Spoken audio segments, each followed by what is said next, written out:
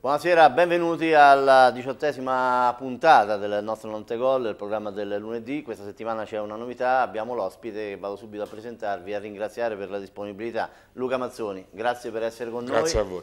E ringrazio anche Lorenzo Modestino e insomma, la società Rossoverde che ci hanno permesso di ospitare appunto il portiere Rossoverde.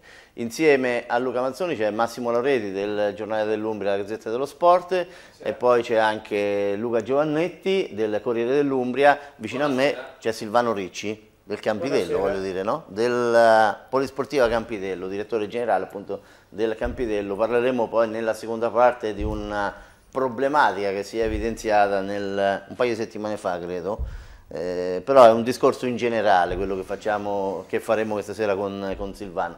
In regia c'è Alberto Francioli, direi la prima parte la utilizziamo solo e esclusivamente per parlare appunto con Luca Mazzoni e per eh, sentire le sue impressioni. Io intanto direi subito di iniziare con quei lavori di Maurizio Bonifazzi, lavoro però che riguarda naturalmente eh, Luca, Luca, Mazzoni, insomma eh, vediamo quello che ha realizzato l'amico Maurizio Bonifazzi, il, il, suo lavoro grafico che ci illustra appunto eh, Luca Mazzoni. Se la, la, regia quando è pronta può mandarci queste due immagini, questi due lavori grafici che il, che, eh, il buon Maurizio ha fatto. Luca Mazzoni, Spider-Man, così si definisce eh, Maurizio Bonifazzi, è una, un lavoro grafico eh, e, questo è, e, questo è, il secondo, eh, il secondo lavoro appunto di, di Maurizio. Beh, carino, no uh, Luca? Sì, gra gra grazie per lo Spider-Man, molto bello.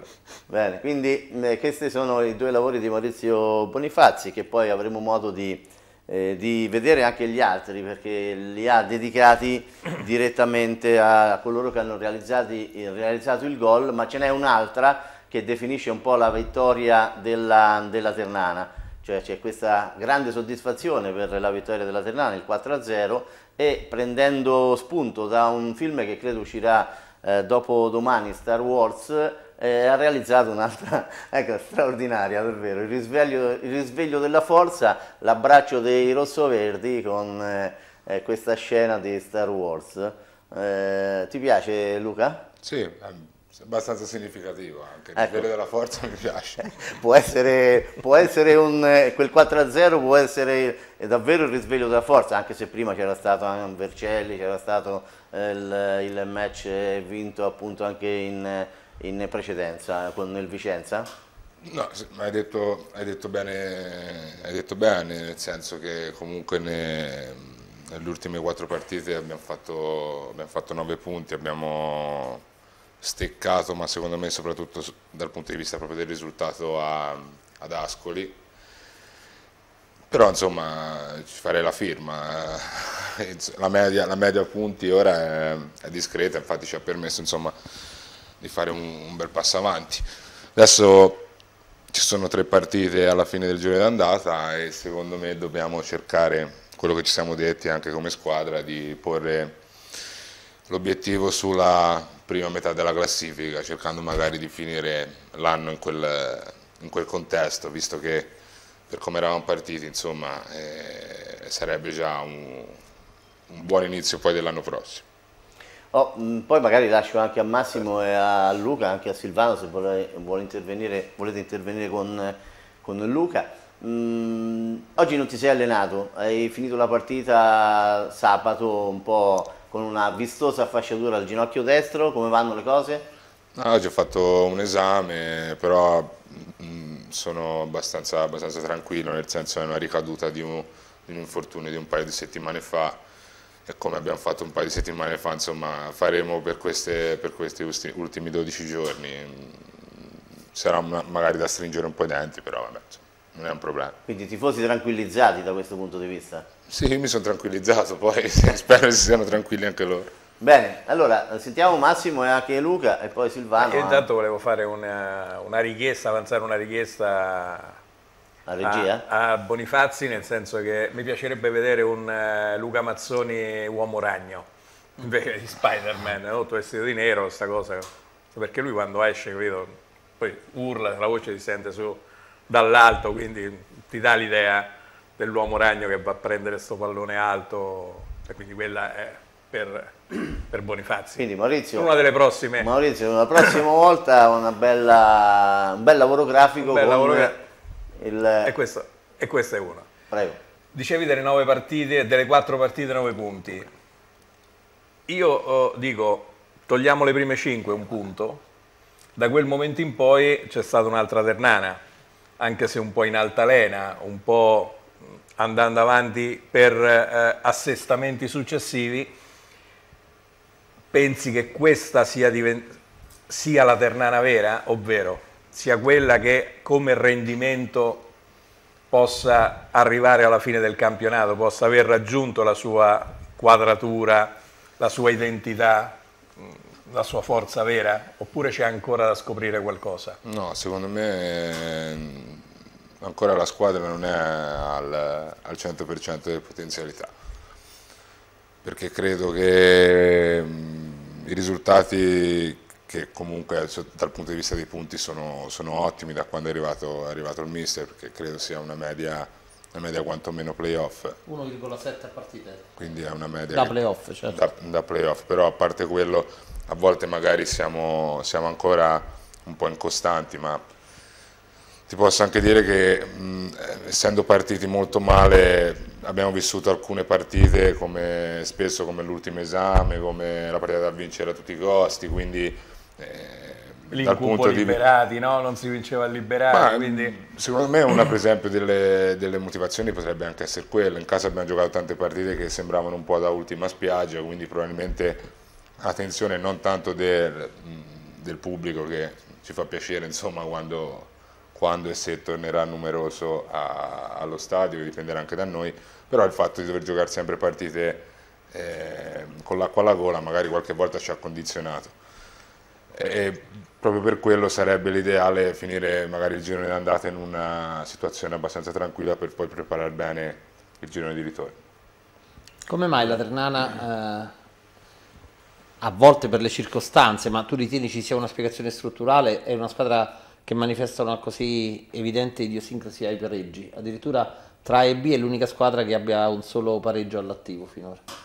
Sì, col Cagliari, se non sbaglio, la terza giornata, quindi ma mh, mm, non credo che francamente ci sia una, una, vera e propria spiegazione, nel senso che eh, è vero che siamo una squadra, ci siamo sempre detti da quando è arrivato il mister che dobbiamo cercare di andare comunque a fare risultato un po' su tutti i campi anche perché avevamo bisogno, quindi spesso magari eh, non abbiamo diciamo così, cercato, tirato le mie in barca per, per portare via un punto, però secondo me tanto dipende anche da un po' da, dalle circostanze. È chiaro che eh, in un campionato poi arriveranno, arriveranno, sicuramente anche pareggi che poi non sono mai da buttare via perché se andiamo a vedere magari qualche partita che, che abbiamo perso male o qualche punto in più ti, ti rendi conto che potevano far comodo. Però alla fine diciamo che sem sei sempre riuscito a metterci una pezza magari dopo la sconfitta quindi questo, questo, comunque è una cosa abbastanza importante. In effetti in parte hai anticipato quella che voleva essere la mia domanda successiva.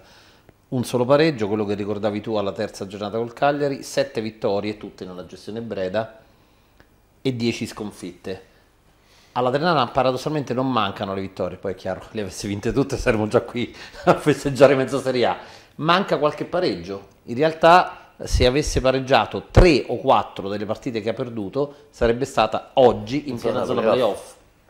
Sì, e, e, no, i numeri insomma dicono, dicono questi, poi è vero che sai, difficilmente puoi fare questi calcoli perché poi magari a Vercelli potevi pareggiare, in qualche altra partita magari potevi, potevi portare via meno, anche se di quelle almeno che mi vengano in mente, le partite che hai, che hai vinto, secondo me le hai vinte forse con Novara è stata la partita dove abbiamo sofferto le altre tutte meritatamente le hai vinte tutte abbastanza nettamente.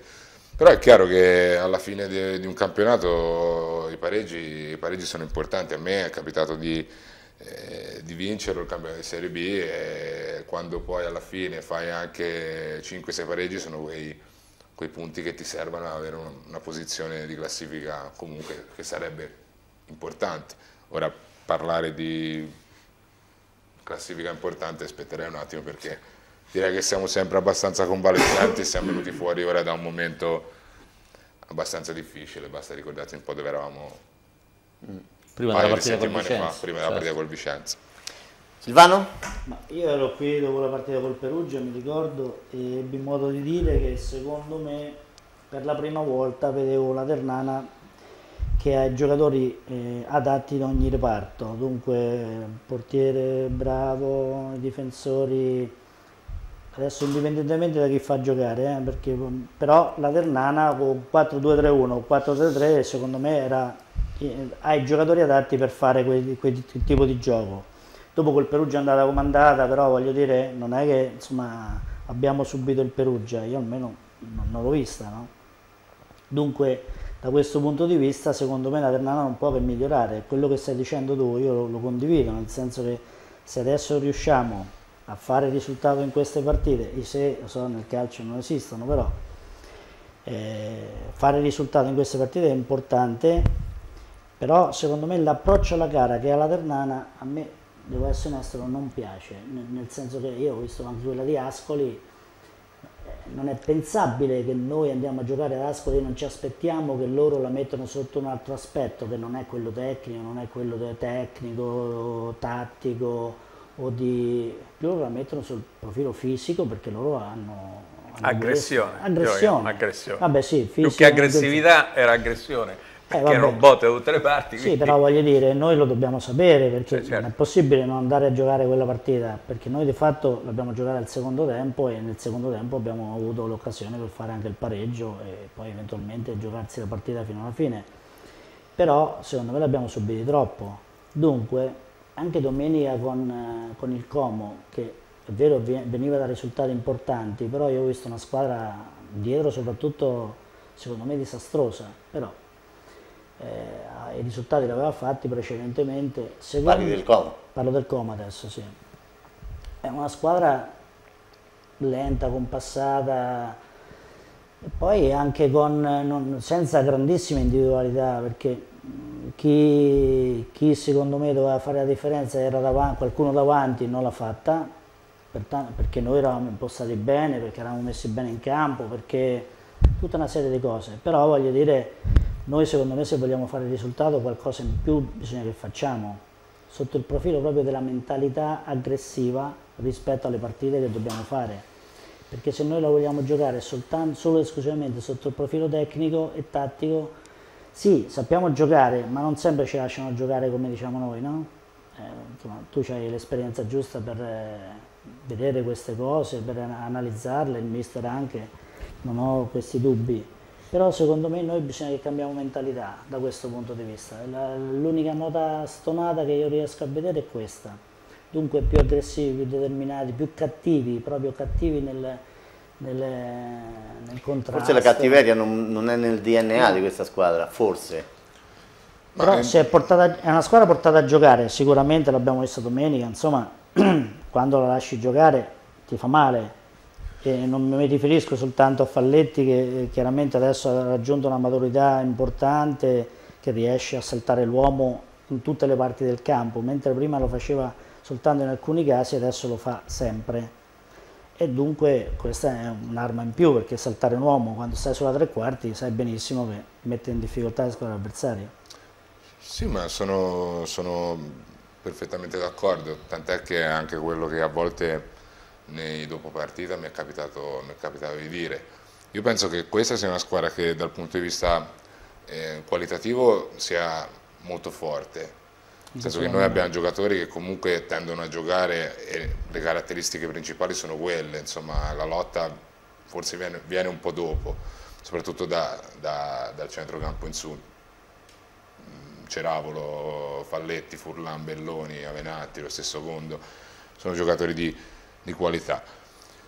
E sono perfettamente d'accordo con te, tant'è che spesso quando abbiamo fatto i risultati l'abbiamo fatto con squadre anche importanti che magari ti lasciano, ti lasciano anche Giocare giocare. più, sì. E magari abbiamo fatto più fatiche con squadre come, come Lentella, mi viene in Come l'Ascoli, mente, come l'Ascoli che eh, sì, ha impostato la partita solamente e, e, fra le altre cose dal punto di vista fisico penso sia una delle squadre più strutturate del campionato. Parli di chili e centimetri? Sì, sì, parlo di, parlo sì, di quello. Sì. Parlo di quello. Sì, e quindi sono, sono perfettamente d'accordo. È anche vero che se in una squadra del genere riesci a trovare una quadratura che riguarda anche l'aspetto che, che descrivevi, allora poi cominci a parlare anche di una squadra veramente, veramente importante. Un buon miglioramento c'è stato però mi sembra da quel sì, punto di vista. No. Mh, mm, siamo, stati, siamo stati da questo punto di vista specialmente magari molto altalenanti, ad esempio Avellino, le squadre che ci hanno magari attaccato eh, subito ci hanno messo effettivamente in difficoltà, però l'importante è esserne, credo, anche coscienti, saperlo e cercare di lavorarci. Sì. Il mister lo sa, noi lo sappiamo e quindi ultimamente ci stiamo, ci stiamo, ci stiamo lavorando e le cose sono un po' migliorate. La partita di Ascoli è anche una partita molto particolare, molto particolare da tutte le altre perché è vero loro l'hanno messa sulla, sulla cattiveria e tutto, però è anche vero che dopo 20 minuti dovevano giocare a 9 c'è anche quello, perché un conto è metterla sull'agonismo, un conto è fare altre cose. Però giustamente te vai a Ascoli in una condizione del genere, devi sapere che comunque davanti trovi una squadra del genere e devi cercare di contrapporti, perché probabilmente anche quella partita lì se non avessimo subito gol in quei 20 minuti probabilmente l'avremmo portata a casa, magari anche un punto di cui si parlava prima. Però sono, sono d'accordo assolutamente, quindi è uno degli aspetti in cui dobbiamo cercare di lavorare. Oh. Ecco, ma quanto si può migliorare? Perché io dico, eh, il carattere, un no... certo tipo di carattere o ce l'hai o non ce l'hai. Se sei portato comunque a giocare è difficile che ti posso chiedere di fare a botte no, e la convinzione con però lo fanno. Io penso che questa è una cosa che migliori molto anche con i risultati. Appunto. Nel senso che se ti rendi conto che poi un determinato approccio e ti porta ad avere dei, dei benefici importanti, poi ti viene in automatico. Non si, qui non si tratta di giocatori che hanno caratteristiche magari di tecniche importanti che si devono mettere a, a picchiare, qui si parla di andare a no. prendere da subito magari una squadra nella propria metà campo, metterla subito sull'intensità e noi questo abbiamo dimostrato di averlo, sì. non lo facciamo, non lo facciamo sempre. Fatto, Vicenza Abbiamo fatto col Vicenza, ma secondo me l'abbiamo fatto anche a Vercelli, perché guardate che Vercelli dal punto di vista fisico è stata una partita molto, sì, sì, molto, molto. difficile, molto dispendiosa, tant'è che vedrete, l'abbiamo detto anche subito dalla partita, che a Vercelli non è facile far punti. E tu sei andato secondo me bene in quella partita. Dell'ultimo mese quella che hai sbagliato approccio è sicuramente quella di Ascoli, perché magari siamo arrivati, sì ce l'aspettavamo ma non ce l'aspettavamo così tanto. E soprattutto siamo arrivati magari dopo una vittoria a Vercelli che non voglio dire che ci ha spento un attimo, però un se l'avessimo giocato tre giorni dopo quella partita lì forse l'avremmo approcciata diversamente. Ascoli era un ambiente particolare, voglio dire, no? io in fase di radiocronaca l'abbiamo anche descritto, però. voglio dire, fra la, fra, la fra la, panchina della Ternana e la bandierina del calcio d'angolo c'erano quattro giocatori dal primo minuto della partita che stavano facendo riscaldamento per scherzo per finta, eh, forse ne avrai vista anche tu, incoraggiavano i compagni e insultavano magari e invece gli avversari. Sono volate bottigliette cioè, di acqua minerale di plastica dalla ambiente particolare, nel senso dove non arrivava l'allenatore, due palloni in campo. Quattro, Vabbè, dai, una cosa è sta tutto, particolare. Senso, Nel però, 2015 in Serie B non dovrebbero accadere queste cose. Senti Luca, ma eh, dicevi prima la Serena, a proiettili, dunque questo niente, l'acqua a margini di miglioramento, dicevi, no? Buoni margini di miglioramento, anche perché credo di aggiungere, adesso hai scoperto Grossi, ma c'è ancora una carta da scoprire, quella di Signorelli, che è un punto interrogativo sul piano del rendimento che può dare dell'apporto qualitativo, qualitativo sicuramente non, non, può, non, possiamo metterlo in dubbio, ma il suo inserimento all'interno di di questa, squadra è un altro di quei giocatori che può essere un po' la ciliegina sulla torta della, della rosa rosso-verde. Ma, ehm, secondo me ci sono tanti ragazzi che possono diventarci decine in questa squadra. Il, ehm, il, fatto è che non ci scordiamo la nostra partenza. Sono arrivati, me compreso, giocatori che non avevano fatto comunque la preparazione. Paolo Grossi è, un, è uno di questi perché Paolo è un, insomma, io qualche anno che faccio questa categoria, qualche anno che ci gioco contro. Paolo è il giocatore che abbiamo visto sabato magari abbiamo, l'abbiamo dovuto aspettare, aspettare, un po' di più perché nella crescita fisica purtroppo qualcuno è passato da, da, dagli infortuni e uno di questi è, è Signorelli che purtroppo ha avuto un infortunio eh, un po' più lungo degli altri, è un giocatore che ha caratteristiche fisiche particolari quindi ci mette anche lui un po' più di tempo e ci metterà un po' più di tempo a, a recuperare bene è un giocatore che effettivamente magari come, come caratteristiche in, in, questa squadra è quello che forse manca un po' di più, che è quello che può dare qualche tempo in più in mezzo al campo, insomma è un ragazzo d'ordine, uno che sa star bene in campo.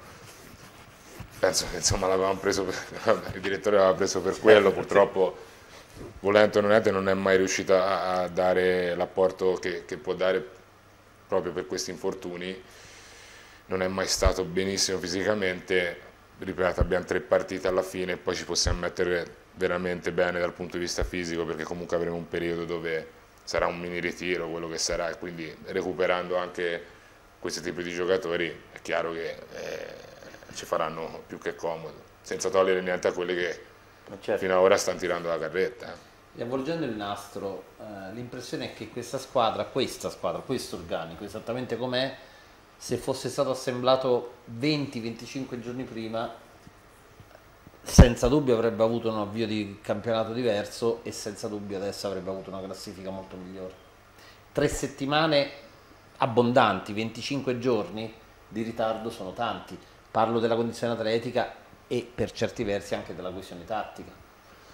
Ma è un, è un po' di tutto. Chiaramente se avessimo lavorato insieme in ritiro le cose sicuramente non sarebbero andate peggio perché è normale, il ritiro si fa, si fa, si fa, per questo, si fa no? per quello, eh. quindi... Invece di Volti Nuovi solo Furlan è stato con gli organici quasi completi di solito. Tutti gli altri, te compreso, si sono aggregati a Terni dopo la fine del ritiro. Sì, però questo lo sapevamo, chi è venuto qua sapeva che c'era un cambiamento, che si stava andando verso un cambiamento e quindi abbiamo accettato la sfida sapendo che partivamo in ritardo eh, rispetto alle altre.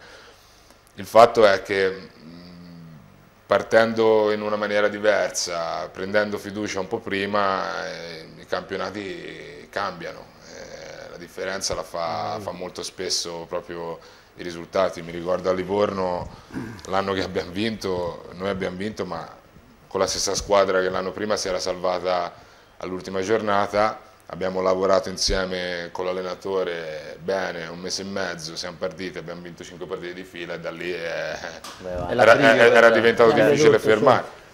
Guarda ragazzi è successo anche all'Empoli. Eh, Una squadra che sì, un po', un si è salvata alla fine nei playoff, nei playout. Sì, un po' succedendo a Crotone.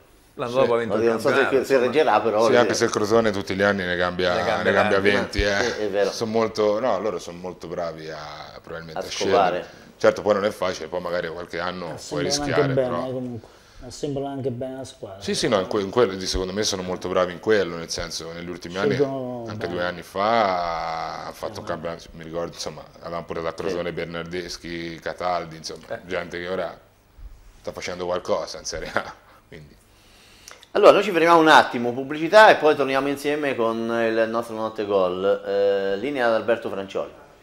Ah, un attimo? Sì, ti, ti, allora io ne approfitto per eh, dire una, una, cosa, direi importante, perché domani mattina eh, nella mh, mm, sala della direzione generale dell'azienda ospedaliera Santa Maria dei Terni la Fondazione Aiutiamoli a Vivere consegnerà la sonda eh, pediatrica cardiologica eh, appunto per il reparto di cardiologia dell'ospedale di, di, Terni, quindi è un altro obiettivo che è stato raggiunto dalla Fondazione Aiutiamoli a Vivere, è uno strumento importantissimo per, eh, proprio per cercare di eh, prevenire e diciamo, individuare in modo direi molto molto celere quelle che sono le problematiche relative appunto ai bambini. Quindi questa sonda pediatrica, tra le altre cose, che verrà mh, mm, eh, intitolata a David Raggi, il ragazzo che è deceduto appunto in condizioni eh, tragiche qualche mese fa, qui a il mese di aprile credo.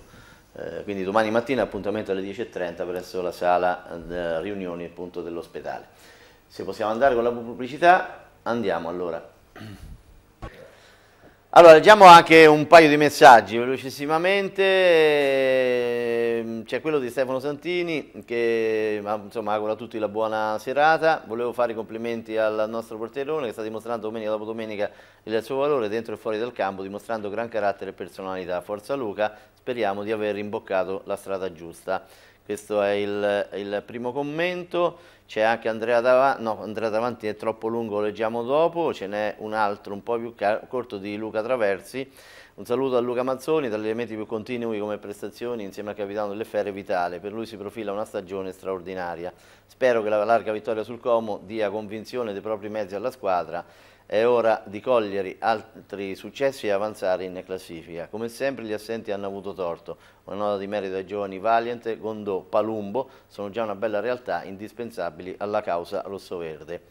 Eh, questi giovani rossoverdi sotto le, la, la, le vostre ali, insomma, eh, soprattutto dal punto di vista caratterialmente, no? forse siete voi che aiutate, dovreste aiutarli a, cres a, crescere. Sul piano tecnico credo anche, debbono crescere anche lì, però la base mi sembra abbastanza solida. Sono, beh, io sono rimasto quasi scandalizzato perché all'inizio non non lo, conoscevo, non sapevo quanti anni aveva da Mart, da Valiant. Che francamente, francamente non è che abbia bisogno di, grossi, di, una grossa mano dal punto di vista caratteriale, anzi mm. è un... Eh, un computer, eh, a parte che è un computer, è un, è un giocatore già fatto soprattutto dal punto di vista del, del carattere perché è, un, è, uno che, a parte che è polivalente, insomma, l'ho visto giocare a mezzo al campo, l'ho visto giocare in difesa, ma l'ho visto in allenamento fare terzino, quindi è, un giocatore straordinario da quel punto di vista lì. Forse lui, più che dal punto di vista caratteriale, con le prestazioni imparerà ancora di più a star bene in campo e questo è, è, veramente, è veramente uno forte, secondo me. Ovunque gioca. Mm, I giovani nostri sono qualitativamente sono superiori alla media che, che, ho, visto, che ho, visto, in Serie B, francamente. Ho visto un altro molto bravo è Antonio Palumbo che credo sia uno dei migliori 96 in giro, per quello che ho visto io. Poi ci sono, sono i giovani sono tanti, eh, perché certo. lo stesso Belloni è un ragazzo giovane molto, molto interessante, ma Gondo è uno che comunque non ci scordiamo che è il primo anno dei professionisti, ha fatto solo la primavera, quindi che lui ha bisogno di, di un po' di tempo, però insomma si è già abbastanza, abbastanza integrato. Abbiamo dei giovani sopra, la media che poi son, secondo me sono importanti perché nei momenti anche un po' più difficili sono quelli che comunque riescono sempre a darti un po' di entusiasmo e devo dire che si sono comportati sempre, sempre molto bene, ma questo è un gruppo da, dal punto di vista de, eh, dell'educazione, del rispetto del, dello spogliatoio mo, molto valido. Questo è importante perché altrimenti rischi quando ti trovi in determinate situazioni di non uscirci. E invece è stato una delle cose per cui siamo sempre andati al campo convinti di, di poter magari uscire da una brutta situazione e sono contento di questo perché non è facile comunque trovare sempre gruppi così, così, uniti, è una cosa che almeno per me è molto importante soprattutto in questo campionato. C'è una fotografia di Stefano Principi che testimonia eh, subito dopo il gol, testimonia un po' effettivamente l'unione della squadra, no? Mm, non è che uno festeggia per conto suo, ma questa voglio dire che sia emblematica anche il fatto, eh, l'abbraccio a Felipe che forse è il giocatore che dal punto di vista eh, è un po' più diciamo, in difficoltà rispetto, rispetto agli altri. Le, le, qualità di Felipe credo le, le, conoscano un po' tutti, è un problema forse di convinzione nei propri mezzi, di ritrovarsi da questo punto di vista, anche se a me a Vercelli è, è piaciuto tantissimo perché ha disputato una gran partita, credo. Quindi... Le qualità di, di Felipe sono, sono indiscutibili. Felipe magari è uno di quei giocatori che ti fa, che ti fa un po' arrabbiare, perché dà la sensazione sempre di poter eh, vincere le partite da solo, di poter essere devastante, magari eh, no, con degli atteggiamenti che non sono atteggiamenti di superficialità, ma proprio, è, è, proprio il suo modo di stare in campo certo. spesso, che magari al, al, di fuori lo fa sembrare a volte un corpo estraneo e, e, e non è così, perché stando nel spogliatoio con Felipe ti rendi conto quando le cose magari inizialmente non riuscivo a farle nelle difficoltà che comunque ci stava male. dobbiamo aspettarlo perché è un giocatore importante e poi dobbiamo aspettarlo, insomma ultimamente le prestazioni sono, sono sicuramente migliorate, tant'è che poi a Vercelli secondo me ha fatto un'ottima partita. Sì. Ascoli, forse Felipe fisicamente non è ancora in grado di fare due partite di fila perché comunque è venuto da anche lui da una preparazione un po' particolare, insomma c'era un po' di, di, di, problemi intorno a lui, e, però poi ha trovato il gol, ha trovato il gol sabato perché poi insomma è uno che, che lo può fare. È chiaro che eh, se questo diventa una costante per noi è un'arma un importantissima. Senti, il gruppo è, tutti dite la stessa cosa, da pochi giorni dopo che stavate insieme, tutti dite ma questo è un buon gruppo, un spesso nel calcio è una frase fatta, quando le cose vanno bene il gruppo è buono, quando vanno male c'è sempre qualche, qualche problema. Il gruppo è buono perché è riuscito a venire fuori quasi completamente da una situazione particolarmente difficile di classifica, di, di squadra, perché non, non capivamo nemmeno, forse nemmeno noi, come doveva giocare, chi doveva giocare in questa squadra, da una situazione ambientale complicata, perché un punto in cinque partite, la gente non viene allo stadio, eh, vi fischiavano prima ancora di entrare in campo o prima ancora di cominciare la partita, qualche giocatore è stato eh, bersagliato in modo, in modo pesante, anche tu per dire, prima partita, no? qualcuno metteva in dubbio Mazzoni, ma, insomma con tutta la bontà, non perché stai qui, ma basterebbe andarsi a vedere quello che ha fatto uno in carriera per capire che ci può stare un errore, un, un ritardo di condizione. Quindi siete venuti fuori insieme, nessuno ha sofferto in modo particolare, siete riusciti voi a tirarli su. Sì, sì, no, ma, infatti, ma, infatti, io penso che, hai detto bene te, spesso sono frasi fatte, poi ci sono, poi ci sono le circostanze. Eh, ti dico una cosa, io ho visto l'Ascoli se, quando siamo andati là, io non credo che l'Ascoli sia una squadra scarsa, perché non, non, non lo credo proprio. Secondo me a Ascoli ci sono altri tipi di problemi. Noi, eh, che non è un, una frase fatta, l'abbiamo dimostrato, perché comunque quando si parte male in questo modo e comunque ci sono dei problemi che non dipendevano poi necessariamente sempre solo da questa squadra, perché tanti sono arrivati, sono arrivati quest'anno, magari a Terni ci sono problemi eh, da qualche sì, anno storici. e abbastanza, abbastanza storici, ormai, eh. radicati appunto. E stia, non è che abbiamo fatto fronte, stiamo facendo fronte perché comunque ancora la situazione di classifica è da prendere con le molle, eh, perché siamo è vero, siamo, ora siamo a tre punti da playout, però siamo a due punti da playout, quindi e, e andiamo a Cesena. Però quello che mi piace di questa squadra è che comunque dopo ogni batosta puntualmente ha reagito. E quello vuol dire che comunque c'è uno spirito importante. Luca. Dicevi delle difficoltà della prossima trasferta. Il Cesena, costruito per centrare la promozione diretta, Foschi si nasconde, la società ribadisce che non può intervenire nel mercato di gennaio per, per problemi economici a, a, tutti noti, ma a oggi l'organico comunque allestito in estate è di primissimo ordine, io credo che il Cesena sulla carta sia tra le 4-5 squadre migliori. Eppure nelle ultime sei partite ha raccolto 5 punti. Allora, due domande in una. Ritieni che questo faccia parte dell'imponderabile che caratterizza spesso la B, in particolare questa edizione della B, o immagini una flessione del Cesena? Seconda domanda, c'è il rischio di capitare nel momento sbagliato, nel posto sbagliato, tipo Ascoli? No, non c'è il rischio, è una certezza. Ecco. non è la prima volta. Però non è la prima volta che ci succede. Perché L'esperienza di Ascoli aiuta. Sì, non, non, sarà lo stesso ambiente no, nel no, senso no, che Cesena, a parte che Cesena è, un, è, uno stadio che è un posto che comunque ti dà, su, dà subito motivazioni perché è un impianto bellissimo, bellissimo. ci sarà una bella cornice di pubblico e quindi... Loro hanno 10.000 abbonati, quindi... È, è, una cosa bella andare a giocare in quegli stadi e comunque il Cesena è una squadra che conoscendo bene, io conosco abbastanza bene l'allenatore, Gioca. Gioca, giocherà a calcio. Certo. Cesena in qualunque modo, in qualunque situazione è una squadra che giocherà, proverà a giocare a calcio. Poi ci sono dei momenti, come stai giustamente dicendo te, ma perché la Serie B, ragazzi, guardate, cioè, è veramente molto equilibrata, cioè, è difficile pensare di... se ti capitano 5 partite difficili in, in, in un momento dove non stai bene, c'è cioè l'infortunato oppure ci sono delle situazioni particolari, ti capita di far, di far fatica.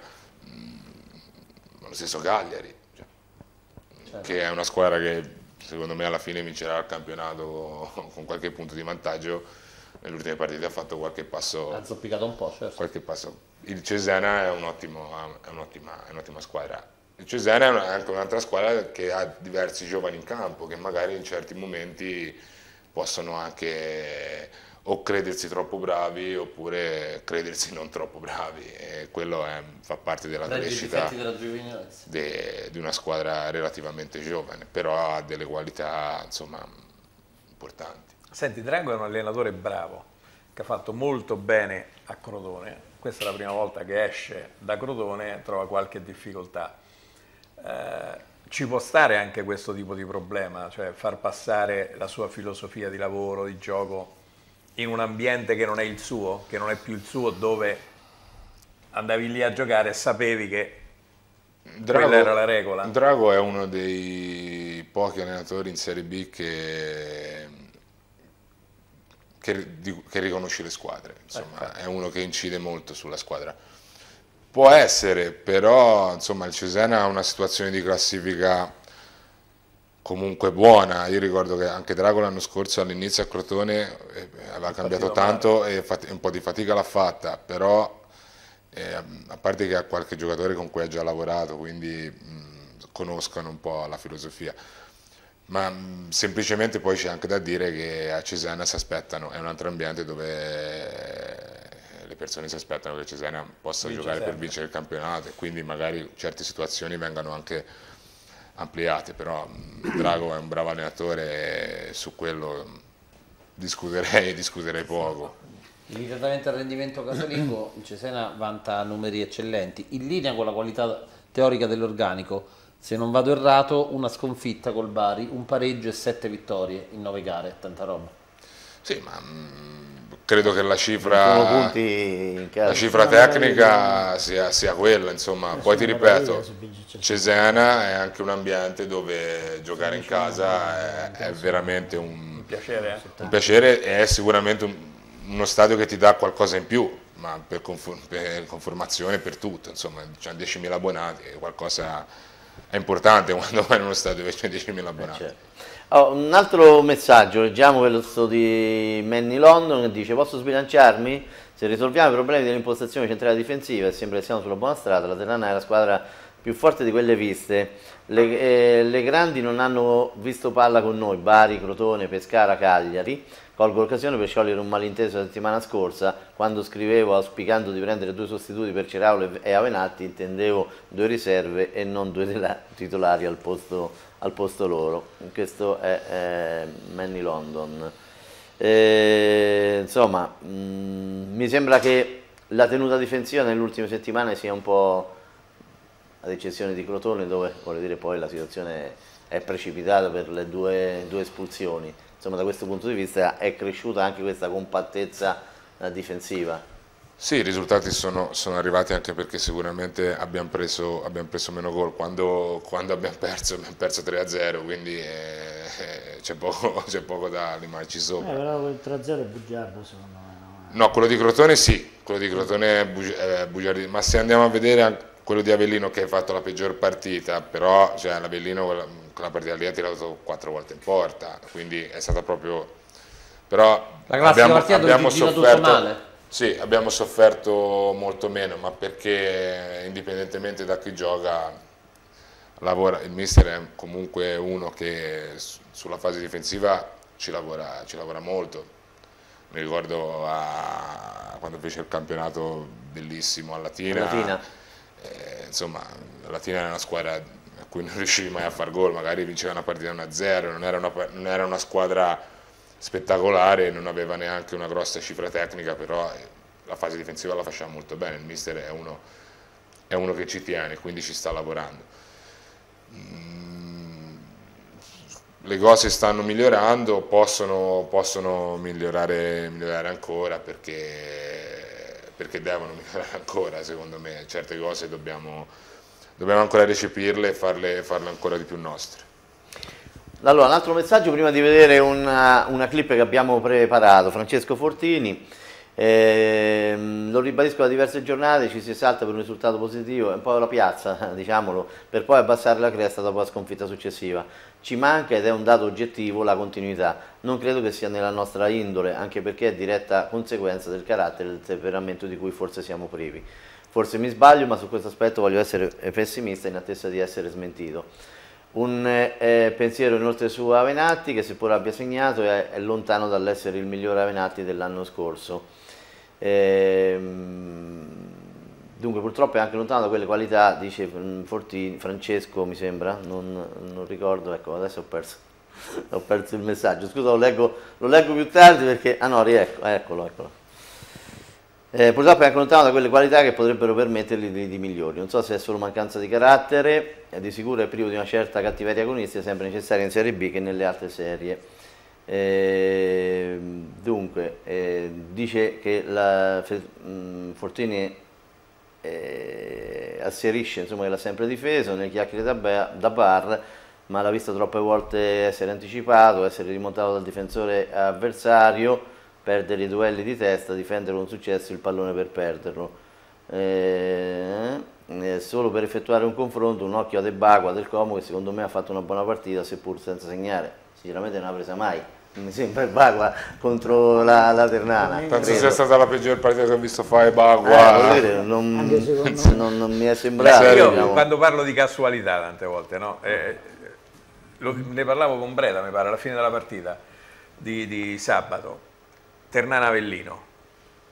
Inizia la partita, contrasto Masi eh, con, con l'amico di Luca lì. Eh, contrasto falloso, cosa contrasto che nessuno falloso. ha detto, eh? vabbè comunque. Masi va a terra, perde la palla, Mogolo subito eh, gol. Subito gol. Ok? Con il Como. Inizia la partita e Bagua Gonzales, va a terra Gonzales, va in contropiede e Bagua, poteva essere un'occasione pericolosa, si perde il pallone scivolare. Eh, allora, eh, la casualità nel calcio certo, volte, gli episodi eh, veramente cambiano anche l'inerzia della partita. No? Poi magari la Ternana avrebbe vinto ugualmente, la Vellina avrebbe vinto ugualmente. Gli però decidono molto spesso i campionati, figuriamoci le partite, insomma. No? A lui dice pure, mi aspetto troppo da Venatti, probabilmente le attese de, de, de, della tifoseria Ternana è un po' troppo elevata forse eh, su, su Avenatti, forse c'è anche questo particolare aspetto, eh, non lo so. Forse ma credo che anche lui abbia da pretendere di più da se stesso. Uh, un saluto e scusate se sono stato troppo prolisso.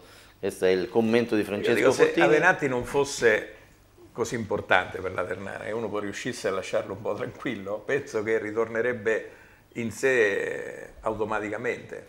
Avenatti ha passato un periodo, no, non ha fatto la preparazione perché pensava giustamente, ma io cioè vent'anni ce l'abbiamo avuti tutti, io tanti, tanto tempo fa che nemmeno mi ricordo com'erano praticamente, però ce l'abbiamo avuti tutti e a vent'anni se ti dicono vai lì, vai di là, vai in Inghilterra, vai in Spagna, vai a Juventus, ci sta che vai un po', un po fuori sì, di testa, no? ti alleni male, pre... poi dopo ritornare nel tuo habitat eh, diventa complicato, poi ci sono state anche storie tra dipende, i manager e la, e la società. Vicino, però, eh? cioè non era, adesso non è più come prima. Non è stata una trattativa andata a monte, è stato, so. sono stati due mesi di discussioni su Avenatti, forse di più, di forse di più perché a giugno Avenatti era del Cagliari praticamente.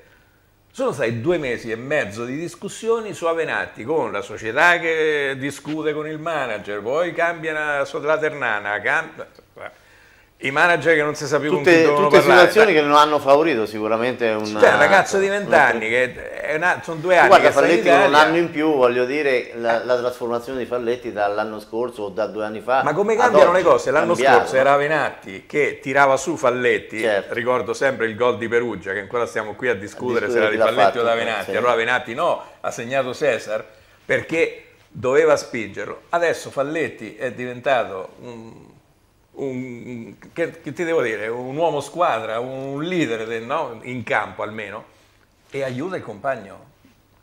Quindi sono ribaltate sono le ribaltate, cose. Sì. Sono situazioni che cambiano, in, nei giovani in modo particolare, quindi Un Però ti ripeto, secondo me è molto importante chi sta vicino. In questo caso il suo manager o il suo procuratore, i ragazzi che giocano con lui, perché a 20 anni puoi perdere la testa, questo è chiaro.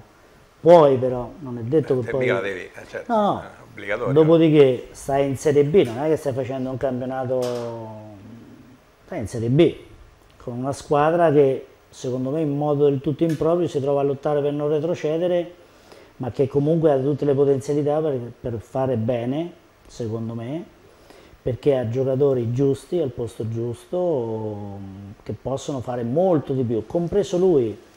Secondo me eh, Avenatti può fare tantissimo di più, ma questo ce lo sanno anche loro, Sì, ce lo sa anche lui. Questo, ma questo è innegabile per le qualità che ha. Appunto, che- proprio per le qualità che ha, perché se non c'aveva le qualità dicevi... Secondo me è un, è- è un ragazzo che si deve solo si deve sgravare di magari responsabilità secondo che no- qualcuno non- le ha messo. Esatto, gli hanno caricato sto gioco sulla testa, secondo me che... Cioè io perlomeno. non l'aiuta per quando- niente. No, penso di no, anche perché quando sono arrivato, cioè, a, me, a me dicevano eh, davanti abbiamo Venatti, davanti abbiamo Venatti", come se la Ternana dipendesse e Solo fosse lui. già fatta perché c'è. E questo non è che i giocatori non lo sentono, Pesa, eh. poi eh, ci sono quelli che metabolizzano e una cosa diventa da una parte e dall'altra, e poi ci sono quelli che invece non riescano a, a levarsi di dosso questo peso. Se lui se ne sta sereno e tranquillo e pensa a far solo quello che sa fare, ha qualità per poi poter andare da, da altre parti tranquillamente. Però, mh, insomma, stai facendo la Serie B, che è comunque un campionato importante, e, e di questo comunque devi essere, devi essere cosciente. Certo. Perché comunque anche per lui è un anno importante. L'anno scorso ha fatto un ottimo girone d'andata, Si è afflosciato nel ritorno. un po' meno nel ritorno, quest'anno sicuramente qualcuno le aveva messo gli occhi addosso, però cioè, devi essere costante perché sennò poi eh, è, un, è un- è un attimo ricordarsi Resti alla delle qualità e che rischi ha. di non giocare. Eh, certo. Sì, sì, no, ma Calcio non è che calcio non aspetta, non è che poi aspetta No, non tutto, aspetta nessuno. però le qualità secondo me diventa difficile discuterle. Andiamo, allora andiamo con questa clip che abbiamo realizzato. Ehm, ci siamo messi lì con eh, Dario Brighi, Vincenzo Vulpiani, quindi eh, abbiamo messo un po' insieme alcune situazioni credo Ah, le, importanti. pape- le papere di Mazzoni? Sì, le abbiamo messe visto, insieme. l'avevo visto dall'inizio. Abbiamo messo Già questo è imperdonabile. Sì, questo non lo dovevi fare, eh. Luca, vai tu che tu sei, c'hai un... questa alla è la partita di Latina. Tra l'altro le tre trasferte accumulate dallo stesso risultato, 2 a 1, dalla stessa successione delle reti, vantaggio momentaneo per il avversario e nuovo gol decisivo e tutte con la firma di Mazzoni, che sia Latina sia a Pescara sia a Vercelli ci ha messo più di una pezza. Questa parata è stata straordinaria, qui eravamo nel secondo tempo. Io devo andare in presa però dai. Questa è veramente una parata eccezionale. Eh, sì, certo, avrebbe dovuto bloccarla, poi lanciarsi e andare a segnare, però vabbè, glielo Eh, perdoniamo. l'ha, l'ha fatto un portiere... Un saluto alla tribuna. Visto? Qui credo fosse il nuovo entrato Bandinelli, che tra l'altro Sì, giocava nella primavera della Fiorentina con Gondò, secondo me è un ragazzo interessante questo, peccato che non giochi mai, peccato per il Latina. Ah, E anche beh, questa secondo me è una parata, te, è allora. una parata complicata. È è- difficile. questo è eh. difficilissimo. difficilissimo, Eh sì. sì. Eh, molto, molto. Non E per anche- lui, dai. E anche qui eravamo, eh, se non erro, sull'1-1, quindi con il risultato No, qui mi sa che eravamo già sul 2 a 1, perché dopo Eh, c'è un eravamo calcio 2 a d'angolo. 1, Ah, eh. dicevamo qui, sì, sì. Qui eh, questa parata, voglio dire, a Pescara ci ha salvato il risultato e qui eravamo sull'1-1. Sull'1-1 qui. Qui sì. Eravamo sull'1-1. È chiaro che se eh, Luca Mazzoni non ci avesse messo una pezza, eh, insomma la partita si sarebbe messa veramente male. eh. ancora siamo un po' mh, la stessa l'abbiamo presa mh, A Vercelli. a Vercelli Ma anche ad Ascoli, ad Ascoli, sì, queste difensive. situazioni qui siamo un po' difettiamo un Caprari. momentino Qui gran palla di Caprari per la Padula e, e il nostro portiere veramente si oppone alla grande. Poi voglio dire, una conclusione ravvicinata, sarà credo a 3 metri. Poi qui c'è stata la terza gara esterna vinta, come dicevamo prima, con analogo risultato e analoga dinamica dei gol, analoga successione dei gol. Questa partita penso aver toccato questo e un altro pallone. Sì, Eh, Questa, però- questa ce la potevate un altro.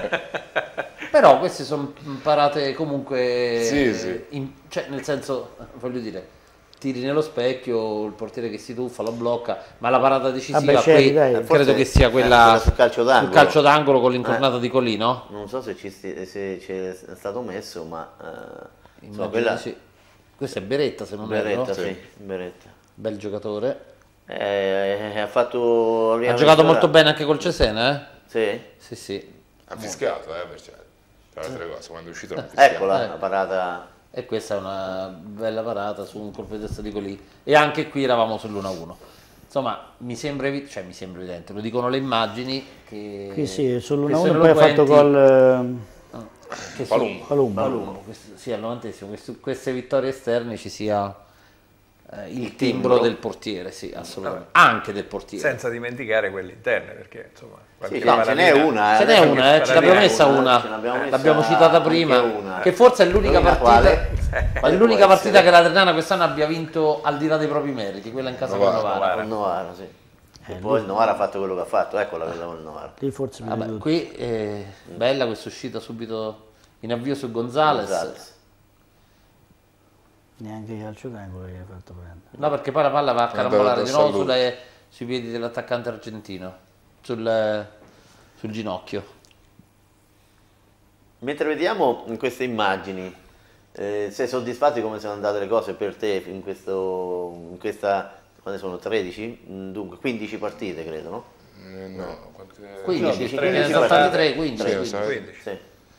No, s- mh, sono, sono soddisfatto, sì, sono soddisfatto mh, soprattutto perché Questo- Questa è difficile, bella, questa parata su No. questo diagonale a incrociare.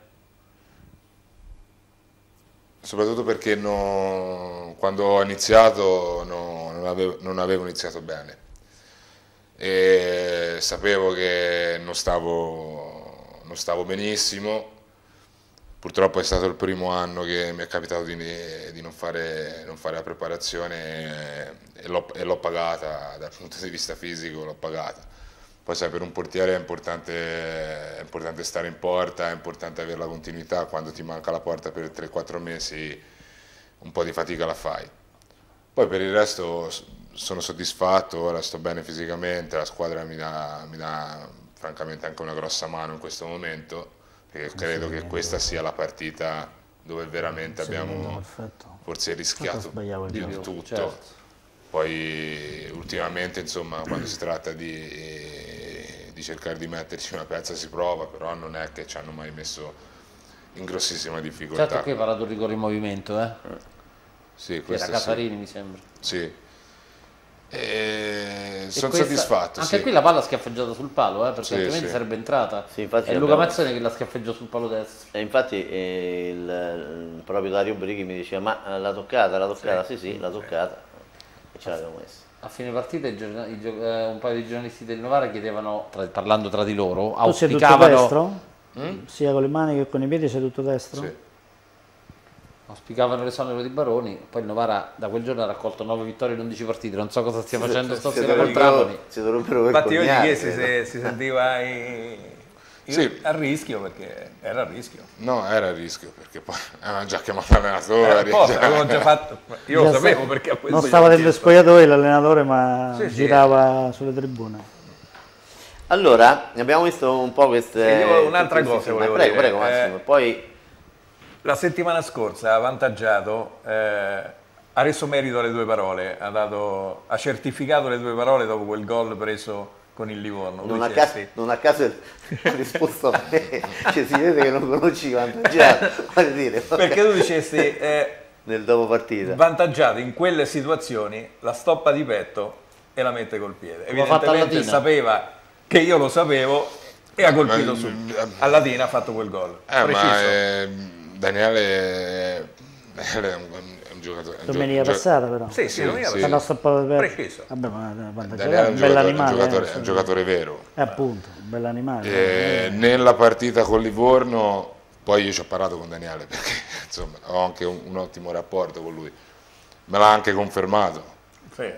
me l'ha detto anche una brutta parola, ma insomma te l'ho messo però- certo, capiamo dove. Cono- conoscendo, io ho letto male la situazione perché ero veramente convinto che da quella posizione, conoscendolo, mettesse giù la palla e calciasse. E lui è stato bravo e, e mi ha preso un, contro, preso un contropiede, però Daniele è un, è un, giocatore che poi mi sembra abbia fatto 9 gol e ha saltato, cin- è saltato 5 partite. partite non ha giocato 13. Io ricordando le parole... Giocatore vero, dai. Ho rivisto il gol e ho detto guarda... No, ma, Daniele, ma era, quel movimento lì, Daniele è un movimento che fa costantemente, quindi cioè, io ero andato proprio sul sicuro e lui è andato sul sicuro. ha avuto ragione lui. Scusate, um, concedetemi una, una, parentesi di un minuto. Senti, Ma... scusa, però par- lasciamelo a me, non so quello che vuoi dire, però intuisco. Sul Padova la faccio io la domanda. Ecco, bravo. Eh, perché, la faccio io perché, perché, non, perché allora non... Luca Giovannetti, devi sapere che eh, da un paio d'anni a questa parte, prima c'era la Reggiana, da un paio d'anni a questa parte dice non riesco a capire come il Padova grandi firme possa essere retrocesso. Perché siccome tu purtroppo giocavi in quel Padova, spiegaglielo a Luca Giovannetti una volta per tutte per ehm, perché a distanza di due anni velare non questo mistero? Io l'avevo capito. il Padova, il Padova Grandi Firme è finita a, quel, a gennaio di quell'anno quando Cestaro ha smesso di, di pagare la società che si era proposta di, non ha neanche cominciato.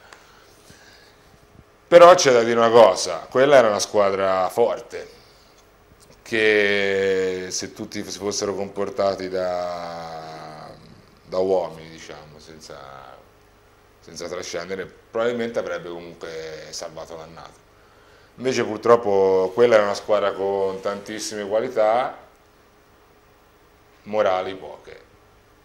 E quando ti trovi in un anno dove la società no, da gennaio in poi non esiste più, tant'è che poi no, non, no, non sono falliti, No, non sono validi, però insomma, le ancora, stanno ancora permettendo di, di, fare un po' quello che vogliono, vabbè, quello è una divagazione che lasciamo perdere, non fa parte del calcio. Però con una società inesistente, una, una piazza importante che dà, dà, pressioni, perché comunque Padova è una, è una piazza importante, e con giocatori che hanno preferito pensare a altre cose che, piuttosto che a salvare magari il, il salvabile, la, il fini, la fine è stata, è stato quello, nonostante che siamo, abbiamo avuto anche tre allenatori, tre allenatori secondo me ognuno a modo suo bravi, che non è che siamo capitati in mano a uno che ha fatto disgrazia, anzi abbiamo avuto tre allenatori, siamo partiti con Marcolin, che era un buon allenatore, abbiamo avuto Mutti che era un, comunque un, una persona di esperienza che ci aveva dato anche una mano, poi c'è stato Serena che è un altro, un altro in gamba, però secondo me quell'anno lì sono state proprio sbagliate le scelte, le scelte iniziali, si è puntato su giocatori che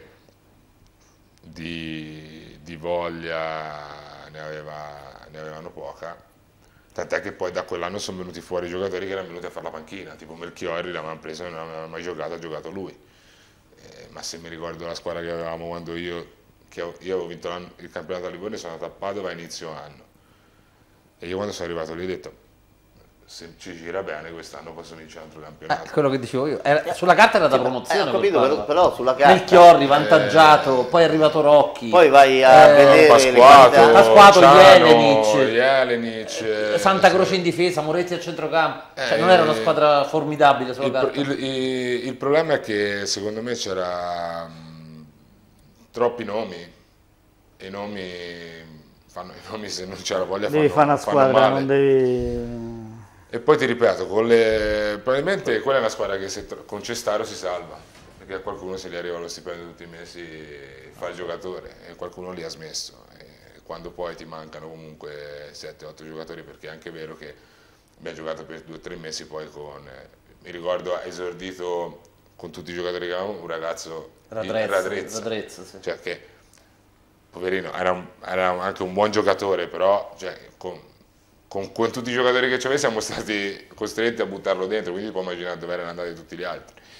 È stato un anno disgraziato e francamente mi, mi dispiace perché è anche una piazza dove almeno a me, mi hanno trattato, han trattato, molto bene, poi è, un, è una, una, piazza importante, una bella, una bella città, lasciando perdere poi le viste le visuali politiche, cose, certo. però è una città che nel calcio italiano è una città Insomma, è una città importante che c'è. non è che l'hanno fatta. Beh, no, ma poi è una città che tiene alle tradizioni, insomma, mh, mm, è un posto dove sono stato e veramente mi è dispiaciuto che tant'è che io avevo detto avevo dato anche la disponibilità a rimanere, a rimanere lì poi tornato a Livorno no sono tornato a Livorno anche perché poi non c'era più nessuno non campionato con chi parla sì, sì.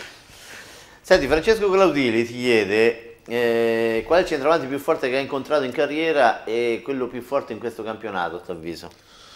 No, ehm, se si parla di serie, si parla di, di serie B, penso, serie B? in Serie B secondo me l'ultimo che ha fatto veramente la differenza, poi ha fatto una scelta di vita, però secondo me poteva ora in questo momento giocare nelle prime 6-7 d'Italia è stato Pauligno, che l'ultimo anno a, a Livorno aveva raggiunto una qualità Eccelsa. veramente, veramente importante per un campo di Serie B, tant'è che aveva la possibilità di andare in Serie A l'anno dopo però ha fatto una scelta di vita, insomma non so nemmeno dargli torto, è andato a prendere non so quanti milioni di euro per gli Emirati, negli Emirati, ha fatto una tipo Menez. Però era, però è un giocatore veramente, veramente forte. Per rimanere agli attuali, eh, che poi se andiamo indietro, io mi, mi ricordo anche Zampagna, Lucarelli, Protti, però Esatto. quelli secondo me erano una, una B un po' diversa, era quasi una, era quasi una Serie A quella, quindi la lascerei da parte. Di quest'anno ce n'è diversi, anche se tanti ce l'ha, tanti ce l'ha il Cagliari, perché secondo me Melchiorri è uno, è uno poi ha avuto anche la fortuna di, di giocarci, è veramente quel- è uno degli attaccanti più fastidiosi che ci possano essere, perché abbina tutte le qualità che magari brutto da vedere, però forte fisicamente, bravo tecnicamente aggressivo, non molla mai la parete. forte Eh, fisicamente, insomma è, è un giocatore importante, però ce n'è, ce n'è diversi, qualcuno ce, l'ha- ce l'abbiamo anche noi, secondo me qualitativamente, magari i nostri non sono eh, bomber da, da Da 20, 15 da gol, 20 gol, però certo. qualitativamente sono, sono giocatori che ti possono mettere in difficoltà, però Melchiorri è un giocatore che secondo me in, questa categoria in questo momento fa la differenza. Beh, penso che Un'ultima cosa un'ultima volevo domanda perché ce ne stiamo che- approfittando no, della presenza l'ultima, di, l'ultima, di Luca. Beh, volevo capire come stava a Terni. Eh, infatti sì. Come... No, io sto bene, ma l'ho, l'ho sempre detto, c'è una città che comunque eh, mi, mi rispecchia abbastanza, ho trovato tante similitudini co- con la mia città di, di provenienza, parlando del tessuto sociale, eh, poi chiaramente il mare mi manca, quello mi può mancare, però è una città... Eh, lo proviamo. No, figurati, quello mi basta andare un giorno a casa per, per vederlo, non è quello il problema. Però dal punto di vista sociale eh, è una città dove io mi trovo bene, sono cresciuto comunque in una città operaia, quindi so quali sono eh, i valori insegnati, so che la gente eh, non aspetta altro che magari rispecchiarsi ma- nella squadra di calcio, che è una delle poche cose che magari in questo momento eh, possono rimanere, insomma. Ehm, Quindi io, io- io mi, trovo, mi trovo- mi trovo molto bene. Poi, Anche Brando sta bene, sì. sì. lui sta meglio di tutti, Sì. lui no, il bambino è felice, ha trovato una struttura dove lo manda a scuola, quindi la moglie è contenta. eh. Allora, io io sono, sono a posto, Insomma, certo, si può poi firmare anche per il prossimo anno volendo. quello dipende da- dalla società, io, il- Un anno, un anno. un anno? Sì. C'hanno un'opzione per, eh, per il ma è stata una trattativa un po', un po' anomala. Io? Devo, devo essere sincero, devo ringraziare il direttore perché probabilmente se fosse stato per qualcun altro qua no- non, sarei, non, sarei, non sarei arrivato. Ehm, il direttore mi ha dato fiducia perché comunque non era facile all'inizio anno, io venivo da- anche da una squalifica, avevo tre giornate, eh, non è mica detto che uno deve andare a prendere mazzoni, perché non è che... eh, però il direttore ha scommesso su di me, io sono contento, io diciamo che invece di chiedergli due anni eh, mi è andato bene l'anno più l'opzione perché comunque anch'io dovevo, dovevo dimostrare qualcosa, è la prima volta che non sono del Livorno, quindi poteva essere uno... Questo da parte tua ti, ti fa onore, nel senso che Ma penso sia, sia anche giusto perché, ti ripeto, non io... tutti ragionano così. Lo No, so no, ma, ma infatti è una delle cose che probabilmente il direttore ha apprezzato. Apprezzato, sì. Sai, io eh, mi sono trovato quest'anno per la prima volta, ho fatto anche una sciocchezza inizio anno perché ho fatto una rescissione di contratto senza, senza avere, avere, avere, avere, la squadra. Sì. E, e mi sono allenato con tutto cuore un mese, cioè, c'è stato il rischio che potessi firmare lì, c'erano... Sì, perché lì c'erano gli amici, l'allenatore lo fa Lucarelli, il direttore sportivo eh. lo fa Protti. Protti? Igor? Sì, Igor, Igor. Sì, sì. Allora, l'allenatore... Lucarelli, eh, quindi ti puoi immaginare anche che salsa mi avevano messo. quindi, insomma, la tentazione c'era, stavo, ero, era a però francamente... Verino, eh, stavi messo... No, stavo messo malissimo, perché eh. poi alla fine dell'allenamento si mettevano a tirare in porta. Eh, però sono contento. Senti, Mauro Meloni ti fa i complimenti, Mauro è un eh, tifoso storico della, sì. della Ternana, quindi ti fa i complimenti per quello che appunto hai, eh, stai facendo con la maglia rosso-verde. Ultima cosa, eh, che giudizio dai di Alberto Brignoli? Ma, eh, ti posso dire questo, io quando sono andato via da Livorno, eh, il direttore che comunque conservo un buon rapporto, io avevo detto guarda ma se riesci non è che ti conviene prendere i Brignoli senza togliere niente a quello che hanno preso, però io ho grande stima, ma poi se vi capita di parlare con Alberto, insomma c'è anche un buon rapporto con lui perché eh, un anno doveva venire a Livorno, poi non è venuto, è venuto a Terni. Eh, comunque è sempre stato un ragazzo ci parlavo, insomma mi sono confrontato, è un portiere che che mi piace molto e poi è uno di quelli che mm, interpreta il ruolo in una maniera diversa da, dagli altri, uno di quelli che mm, esce sempre, si prende i rischi. Eh, è, è, mi piacerebbe vederlo una categoria sopra, perché in Serie B credo non si debba neanche, neanche discutere le qualità di Alberto. Mi piacerebbe vedere un portiere come lui, con quelle caratteristiche, nella, in massima serie. Ce Anche la Se, Quest'anno secondo me mi dispiace, mi dispiace dirlo, ma, ma secondo me quest'anno ha sbagliato quello? un po' tutto. No, no, lui non lo deve prendere come un anno perso, perché comunque è un anno dove tu ti alleni con, con la Serie A che è un altro mondo e già così migliori. Però dipende molto dallo staff di allenatore che hanno. Sì, no? però solo quando ti calciano in porta i giocatori eh, Serie sì, A. Questo, cambia, questo sì, sono d'accordo cambia, cambia un po' tutto. Però gli allenamenti sono molto Vabbè, comunque, sono, prepara- comunque sono, sono, a Genova sono preparati, hanno un, buon, hanno un buon allenatore dei portieri, però secondo me proprio anche la velocità nell'allenamento, che la trovi poi con le partite alle con compagni, alla Sandoria comunque ci sono, giocatori, ci sono giocatori importanti. E secondo me lui lo deve prendere come un anno di, un anno, un anno di crescita assolutamente. L'anno prossimo deve andare, deve andare a giocare perché oltretutto Alberto se non sbaglio è un 90 sì, mi sembra 90, 90, 90, 90. Comunque a 25 anni è giusto che ovunque ma deve giocare, anche perché è un, peccato secondo me vedere un portiere così non no, no sfruttato.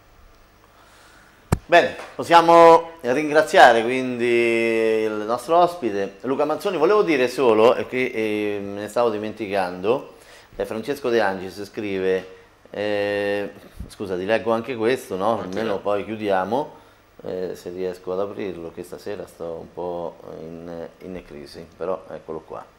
Eh, volevo dire che stavo per lanciare eh, che è partita, ecco qua, Grande Manzoni, credevo fosse venuto a svernare a Terni, invece dimostrando di essere un grande professionista e un grande uomo. Ho avuto C'è altri vent'anni di carriera, 20 no, ma 10-15 tutti. Eh, dunque, ho avuto Quando sempre... stopperare la palla di petto su un tiro e rinvirare testa... Eh, ho avuto, eh, dice eh, Francesco De Angelis, ho avuto sem da sempre un grande rispetto per i livornesi sin dagli anni della C2 e C1, quando come tifoseria c'era una cerrima inimicizia, poi sfociata in amicizia, viva Dio ma grandissimo rispetto e stima verso la tifoseria Amaranto. Forse proprio per le similitudini tra i cittadini delle due città, mare a parte, ho sempre stimato i livornesi anche quando ci presero a Sassare a Livorno. Grande Mazzoni, sono felice di potermi ricredere sul tuo conto per le prime due o tre giornate. Forza Fere. Grazie. Eh, volevo dire, è stata lanciata sul, cioè, eh, alle ore 20 di questa sera sul sito della Ternana l'operazione praticamente create voi la, la maglia della, della Ternana. Eh, ci sono, quindi basta andare sul sito della Ternana, cliccare sulla, uh, sulla notizia e lì si apre una sorta di form eh, sulla quale potete esprimere le vostre preferenze. Eh, sia per quanto riguarda il carattere dei numeri, sia per il motto da stampare sulla, sulla maglia, ce n'è uno F.P puntato, P puntato, che lascia a voi interpretare. A Terni si capisce benissimo. sì. A me me l'hanno spiegato eh, poi... Era ferie, pesce, no? e poi... Livorno sarebbe stato. E poi sono, e poi sono le, le maglie, le, le, dunque sono 5 per quanto riguarda la prima maglia, quindi dovreste scegliere una di queste 5, 3 per quanto riguarda la seconda e 2 per quanto concerne invece la terza maglia. Votate e poi a fine credo 27 di dicembre si chiuderà questo sondaggio eh, i risultati saranno passati alla Macron che è lo sponsor tecnico e lo ricordo ha rinnovato il contratto fino al 2019 se non vado errato sì. infatti confermano dalla regia quindi ringrazio. Votate votate votate insomma poi decide la Longarini eh? votate votate poi le maglie le sceglie Longarini ovviamente scherzo, eh, scherzo. Ma però sono belle, eh, quelle che se le fanno belle, sono Luca l'ha, Luca l'ha viste, prima abbiamo, no, io non ve le faccio vedere perché prima di tutto non, perché potete votare una sola volta, una volta che l'avete vista, avete votato, non potete andare eh, sullo stesso Quindi computer, riflettete sullo stesso, bene. sullo stesso IP. E dicevo, a te sono piaciute mi sembra, no? Sì, sono, sono belle. C'è qualcuna che va un po' troppo oltre, oltre il limite della, della licenza, però quelle che poi in teoria saranno quelle che sicuramente le persone voteranno sono, sono belle. Senti, per il motto anche tu sei per... No, dopo che mi hanno detto cosa vuol dire sono per quello. F.P.FPP, va bene. Grazie davvero, Grazie in bocca al lupo. Speriamo di, che possiate regalarci davvero tantissime altre soddisfazioni, non solo a noi, è sempre un piacere anche per noi, perché a noi fa piacere commentare le vittorie e non per le primo sconfitte. A loro stessi. Primo eh? a loro stessi, Perché... certo. Quindi grazie a Luca Manzoni, la linea passa alla regia ad Alberto Francioli.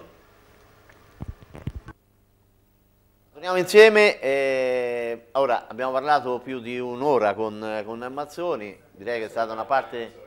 di Mazzoni è andato eh, eh, diciamo che è stata una parte... Stiamo parlando di centravanti. Sì, Eh, no, sì. no, no, però non seguivo... No, diceva, non so, se chiedeva, lo chiedeva a me ma non mi ricordo, un giocatore che è stato espulso domenica? No, non Centravanti del Genova, non ho Due capito. domeniche fa.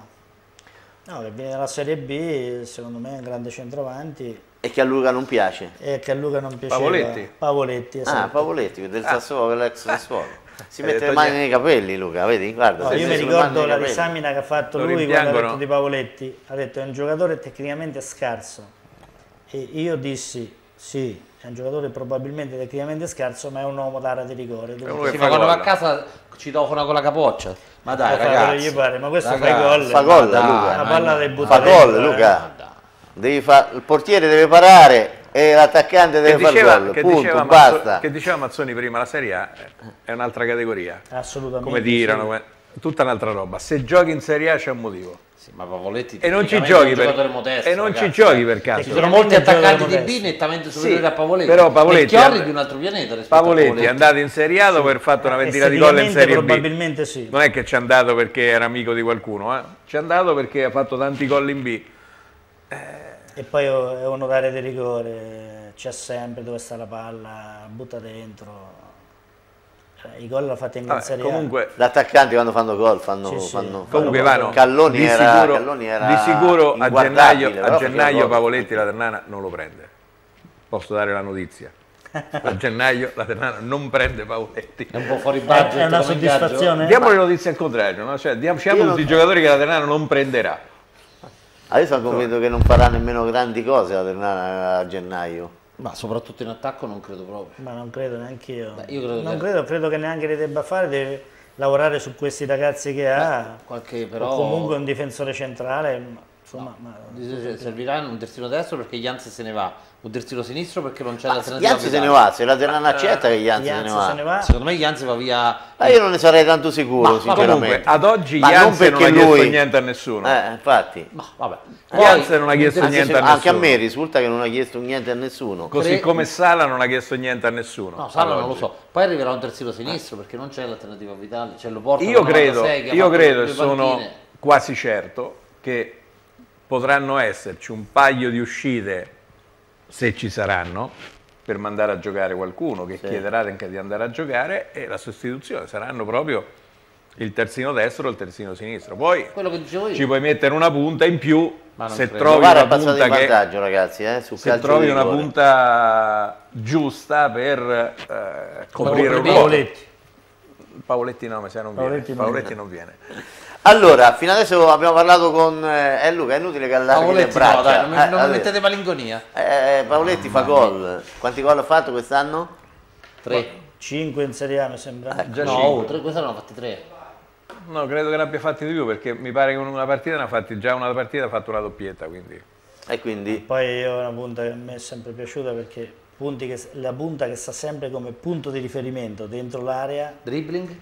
È una zampagna? È uno alla zampagna? Vabbè, Zampagna No, era Zampagna più forte, meglio. molto più elastico. Sì, però in Zampagna- area di rigore Giocava forse meglio. in area di rigore si faceva Beh, Zampagna era anche Più qualità. molto più Chi qualità. più qualità? Zampagna. Ah, beh. Scherzo.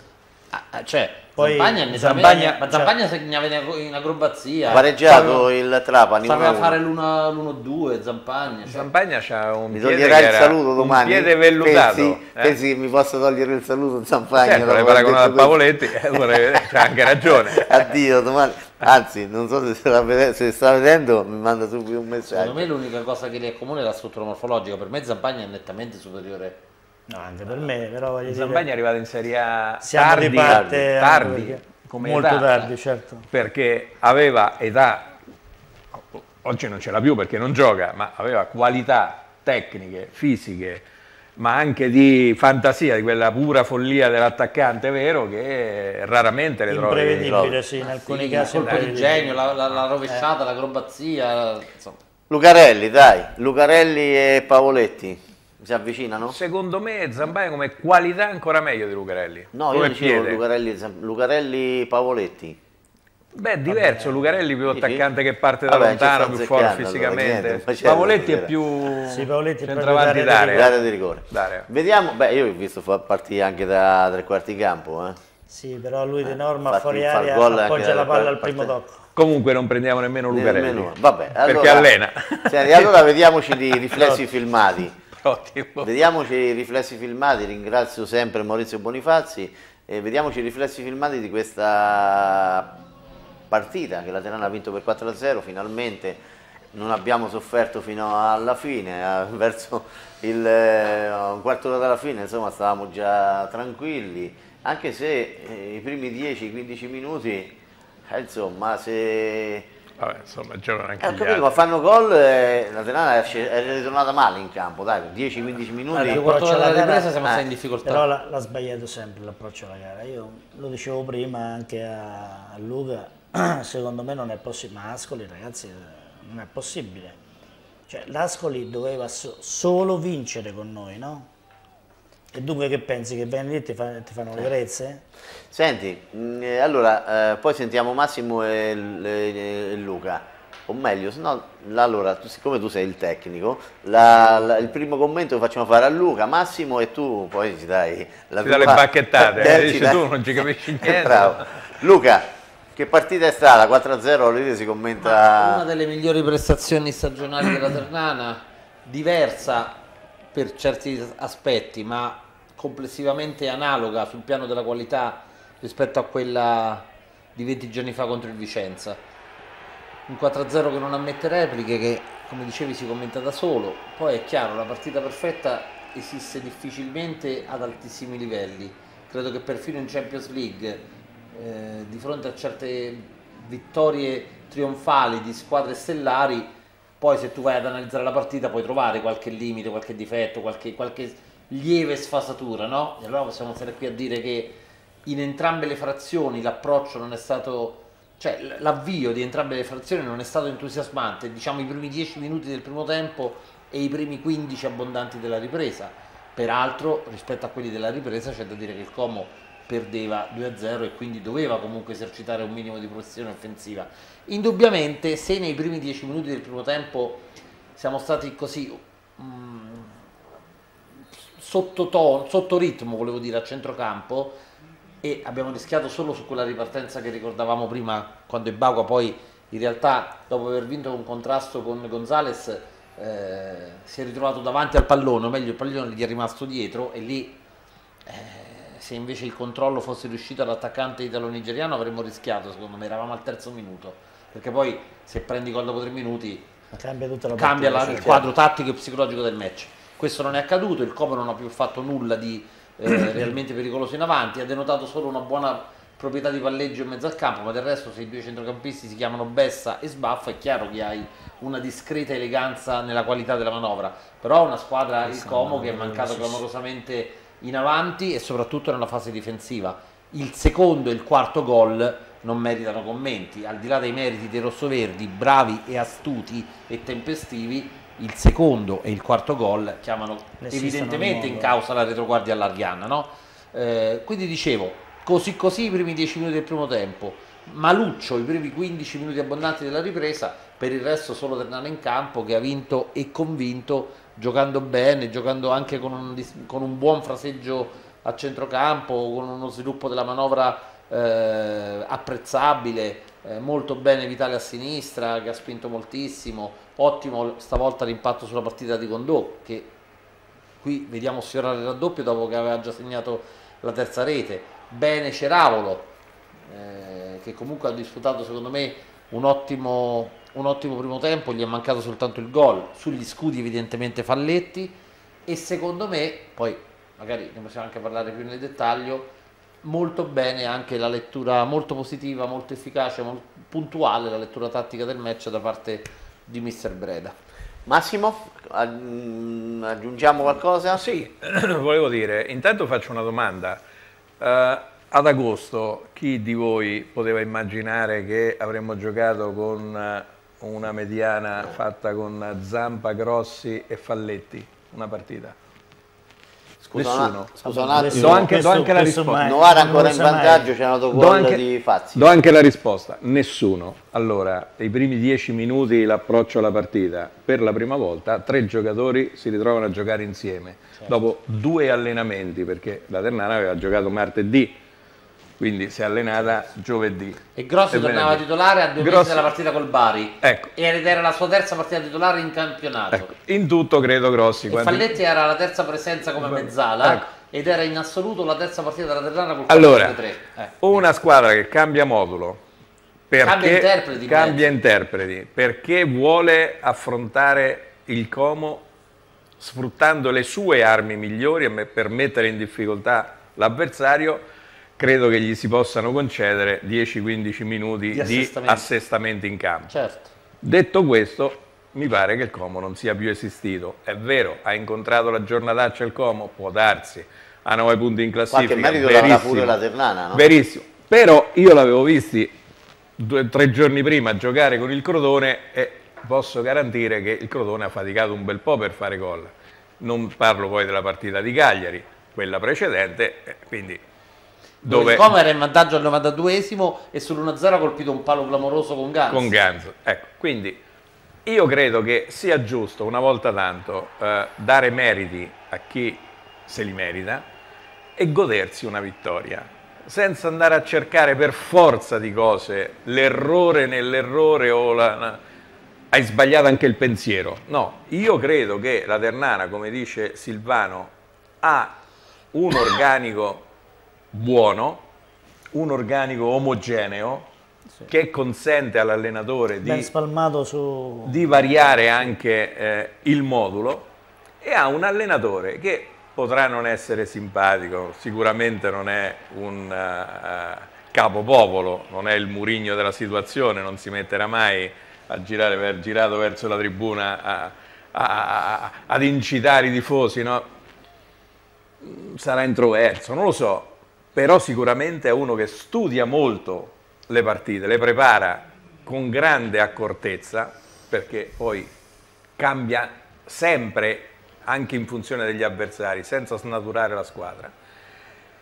E credo quindi che meriti un minimo di plauso per quello che sta facendo. Poi è evidente che anche lui ha sbagliato perché nessuno è infallibile, eh, perché se non sbagliasse mai allenerebbe probabilmente il Real Madrid no, perché hanno preso uno che sbaglia spesso, quindi il Real Madrid no, probabilmente il Bayern Monaco, se non sbagliava mai al posto di Guardiola, evidentemente sbaglia anche lui, allena in Serie B, credo che sia un dignitosissimo allenatore che merita rispetto e merita di poter lavorare senza ogni settimana trovare anche perché ora i risultati prendere schiaffi tutte le settimane anche fatto per 21 punti in 13 abbastanza. partite 1,7 diceva prima Luca che è una media lusinghiera da una media al di là di quelle che possono essere le eh, ripeto io non meno, faccio eh, non voglio scelte. i numeri poi danno sempre lungi da me assolutamente. perché poi, quando, sono numeri, perché poi quando siamo qui quando è arrivato Breda che ponevamo qualche dubbio su Breda la gente diceva eh ma loro sono amici di Toscano. Adesso non è che siamo amici di Breda contro Toscano eh, assolutamente. Facciamo considerazioni. Toscano è stato la Ternana e dobbiamo considerare quello che era la Ternana in quelle prime cinque partite di campionato. In quelle prime cinque partite io credo che fosse venuto qui anche Guardiola certo. avrebbe trovato più di un problema a mettere insieme la squadra certo. e, farle vin- e, farle vincere le partite. Ah, era un Quindi, in costruzione senza ecco. preparazione atletica, ah, via. Certo, da, da Crotone no? voglio dire dignitosamente, ecco, no? Nel quindi, che io cancello le prime cinque partite di campionato, considero il campionato della Ternana nel momento in cui è arrivato Breda, che si è chiarita la situazione, si è chiarita definitivamente, perché non dobbiamo mai dimenticare che in quelle cinque partite precedenti è cambiata la società tre volte, perché sono passati da Zadotti, Masoni, Masoni cioè, c'è stato un po' di confusione, un direttore sportivo che doveva venire che non è venuto, uno ce n'era, poi è andato via, è arrivato un altro che nessuno pensava potesse arrivare, quindi tutto questo si riverbera si sulla squadra certo. e l'ha detto prima Mazzoni, a Padova, quando la società è scomparsa, sono retrocessi, quindi anche certe eh, incertezze dentro la società sicuramente hanno influito all'inizio, così come influisce adesso positivamente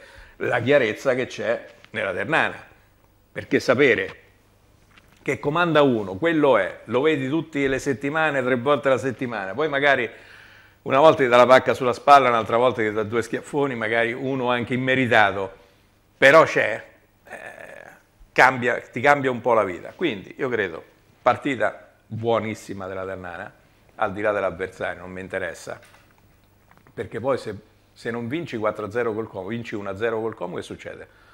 O pareggi 0-0 col Como. Quindi quando vinci sicuramente hai fatto il tuo, poi ne riparliamo. Per cui una buona partita con, ripeto, la consapevolezza di aver ritrovato e trovato finalmente un giocatore che aspettavamo, Grossi, che sarà, secondo me, molto, ma molto importante da qui per il proseguo del campionato e poi il resto lo vediamo, insomma, intanto è migliorata la classifica, siamo sereni una C'è settimana. C'è ancora Signorelli, no? Perché anche Signorelli è uno di quei giocatori Ma, importanti. Insomma, se no veramente Beh. ci raccontiamo le frottole. Ha no? giocato a Milano. Ma chi è che non pensava Milano, che il campionato della Ternana 4-3-3, il centrocampo della Ternana con Signorelli, Coppole e, e Grossi, Grossi, questo doveva essere, no? O Busellato, insomma, non hanno giocato mai insieme, quindi... Io credo che una partita vinto 4-0 c'è poco da commentare sotto il profilo, cioè gli errori ce ne sono stati pochissimi, sì, andiamo a vedere che dopo tre minuti Vacqua poteva fare un gol se non scivolava, e... andiamo a vedere tutto, perché analizzare la partita è importante, importantissimo, l'allenatore secondo me lo deve fare sempre, però voglio dire la Ternana ha dimostrato, al di là dei gol che probabilmente ci hanno regalato loro perché erano ben piantati in terra, perché anche sul gol dei Falletti io credo che uno slalom del genere, al di là della gran forma del ragazzo, tutto quello che ti pare, ma non si manda in porta, no? si fa il fallo al limite dell'area, ma questo è, lo dice la logica del lo calcio. Lo dicevano anche i difensori del Belgio sul gol sì, di Maradona? Sì, sì, no, vabbè, perché se avessimo fatto il fallo... Sì, però lì, lì poteva Lui fare il fallo. è andato via. Di forza, è scattato non, tre non volte. mi sembra lì che era di forza. È scattato tre volte. No, di il forza giocatore, il giocatore che... si è spostato, il difensore, eccolo, l'ha lasciato andare benissimo, però ha fatto comunque un gran gol e soprattutto la grandissima forma che ha in questo momento va sfruttata perché lui ha delle caratteristiche che nessuno ha, riesce a saltare l'uomo, soprattutto il primo uomo, dunque se sul secondo tocco appoggia la palla o continua ad andare verso la porta va benissimo. Però voglio dire, se vai ad analizzare il gol, il 3 a... il gol più bello è stato quello di Condò, perché proprio come azione di gioco. Certo per come si è sviluppata, di come tutto hanno liberato prima. la fascia, tutto di prima, Falletti che ha messo la palla col giro giusto, rimbalzo giusto, l'attacco alla palla, il tiro, voglio dire, tutto perfetto. Dopo le altre due erano due disattenzioni, effettivamente è vero perché il gol di Avenatti, di Avenatti di Palumbo, a Breda, a Breda è piaciuto però, tantissimo l'ultimo gol perché di... ha detto ci mancava a noi eh, un po' ci manca un po' di furbizia, eh, quello è vero. Infatti la battuta sua è stata non a caso l'hanno fatto due napoletani. Eh. No, Vidale, Vidale, la furbata, Vidale Palumbo. Però dire, no, io credo che la Ternana abbia, cioè, ripeto, una partita vinta 4-0, abbia fatto una gran partita. Anche se questo è stato il momento di recuperare alcuni ragazzi che in questo momento non è che stavano al top, no? Compreso Menatti, però il fatto che ha fatto gol, autostima, tutta una serie di cose. Adesso però noi dobbiamo andare a giocare un'altra partita importante e secondo me dobbiamo ritornare subito con i piedi per terra perché è fondamentale l'approccio alla gara. L'approccio alla gara, la Ternana... Scusa, 4-1 all'89esimo a Novara in favore della squadra dei Baroni. Decima vittoria in 12 partite per il Novara dopo la sconfitta rocambolesca di Il Trapani, se non avesse quel bottino di punti garantito dallo stadio di Trapani, eh, sarebbe tutti gli anni a rischio. Eh, certo. eh, vabbè, Poi, Novara 4 gol e 2 pali ha colpito adesso, tra l'altro. Scusa, abbiamo no, interrotto. No, no, ma io dicevo che l'approccio alla gara, secondo me la Ternana ce l'ha sempre molto timido, molto lento, molto compassato Secondo me un... io li vorrei vedere molto più cattivi, determinati, ingresso in campo già con la determinazione giusta, quello che dicevamo prima con Luca, perché Ascoli è stato un caso, Però, non è stato un caso. Vuol dire, ma um, forse queste, queste doti bisogna averle nel DNA, perché Busellato, voglio dire, che è Busellato, che quelle doti ce l'ha nel proprio Beh, DNA. Busellato ce l'ha, secondo eh, me. Vuol dire, pronti via per lui è busellato dall'inizio fino alla fine. Infatti sì, busellato entra in contrasto sia al primo secondo eh, che appunto, al 95 c'è la Coppola che però certo. ha giocato a scartamento ridotto. Eh, però, però, voglio dire secondo me è una questione di mentalità. Che arriva come dicevamo anche prima con i risultati. con, con, i risultati, con la, l'autostima con tutta una serie di questioni che insomma poi vanno a fare una gara importante come quella di Cesena dove puoi vincere, perdere, noi ce la possiamo giocare con tutti, non c'è una squadra secondo me che ce la può incartare.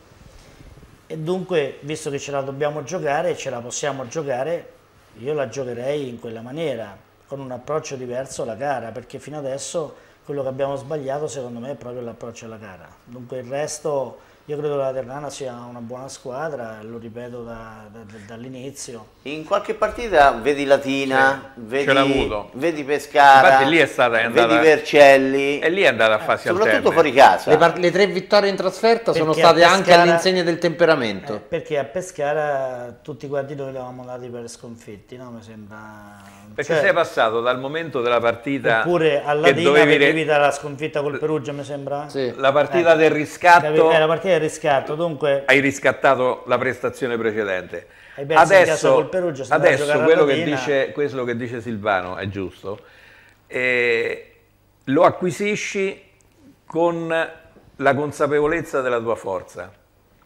Cioè prima ci hai messo il carattere perché dovevi riscattare una partitaccia precedente. Adesso lo fai perché dici, beh, sai che puoi vincere e non è un fatto isolato casuale. E quindi provi anche delle giocate che in altri tempi, cioè Gondò ha fatto un gol bello, con una giocata che 15 giorni fa non avrebbe nemmeno provato, l'avrebbe stoppata probabilmente passata a qualcuno lì vicino, perché non, non, non ti assumi quella responsabilità. Fino a qualche tempo fa tirava solo Ceravolo, eh, questa è la storia della Ternassa, andiamo a vedere no, le partite. la partita così. anche di Ascoli con due sbagliato un gol a un metro dalla porta forse? Oppure col Perugia, insomma...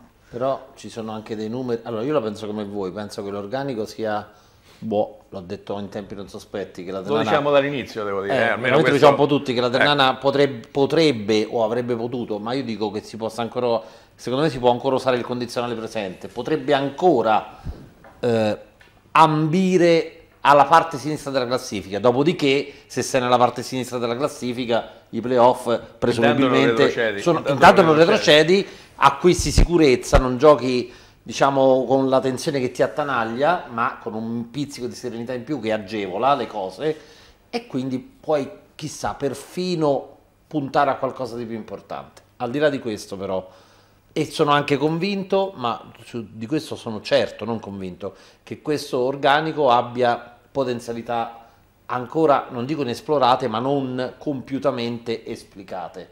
Si parlava di Signorelli, lo stesso Grossi che finora ha giocato poco, giocatori frenati soprattutto da problemi fisici. Io devo dire che Grossi da Crotone, eh, visto Grossi a Crotone, in cui mi aveva fatto una brutta impressione Certo. perché sembrava che corresse con il freno a mano tirato, ho visto Grossi domenica, giocatore. a distanza di due settimane, è un altro giocatore. Un altro quindi- giocatore, certo, certo. E lui stesso ha detto a fine gara che non è ancora il top. quindi c'ha adesso ragione, aspettiamo certo. Signorelli, quindi in mezzo al campo abbiamo rinforzi importanti, ma io direi che abbiamo alternative valide in tutti i ruoli, ci manca solo un'alternativa verificata in categoria a Vitale, perché lo Porto sarà anche un giovane interessante, ma è un Io devo 96, finora ha collezionato solo due panchine, diciamo che è un'incognita. Al di là del- dell'alternativa Vitale, parlo di terzino sinistro, di laterale mancino basso, in questa squadra di alternative ce ne sono, sia per giocare 4-3-3 sia per giocare 4-2-3-1. Se vuoi l'alternativa sì.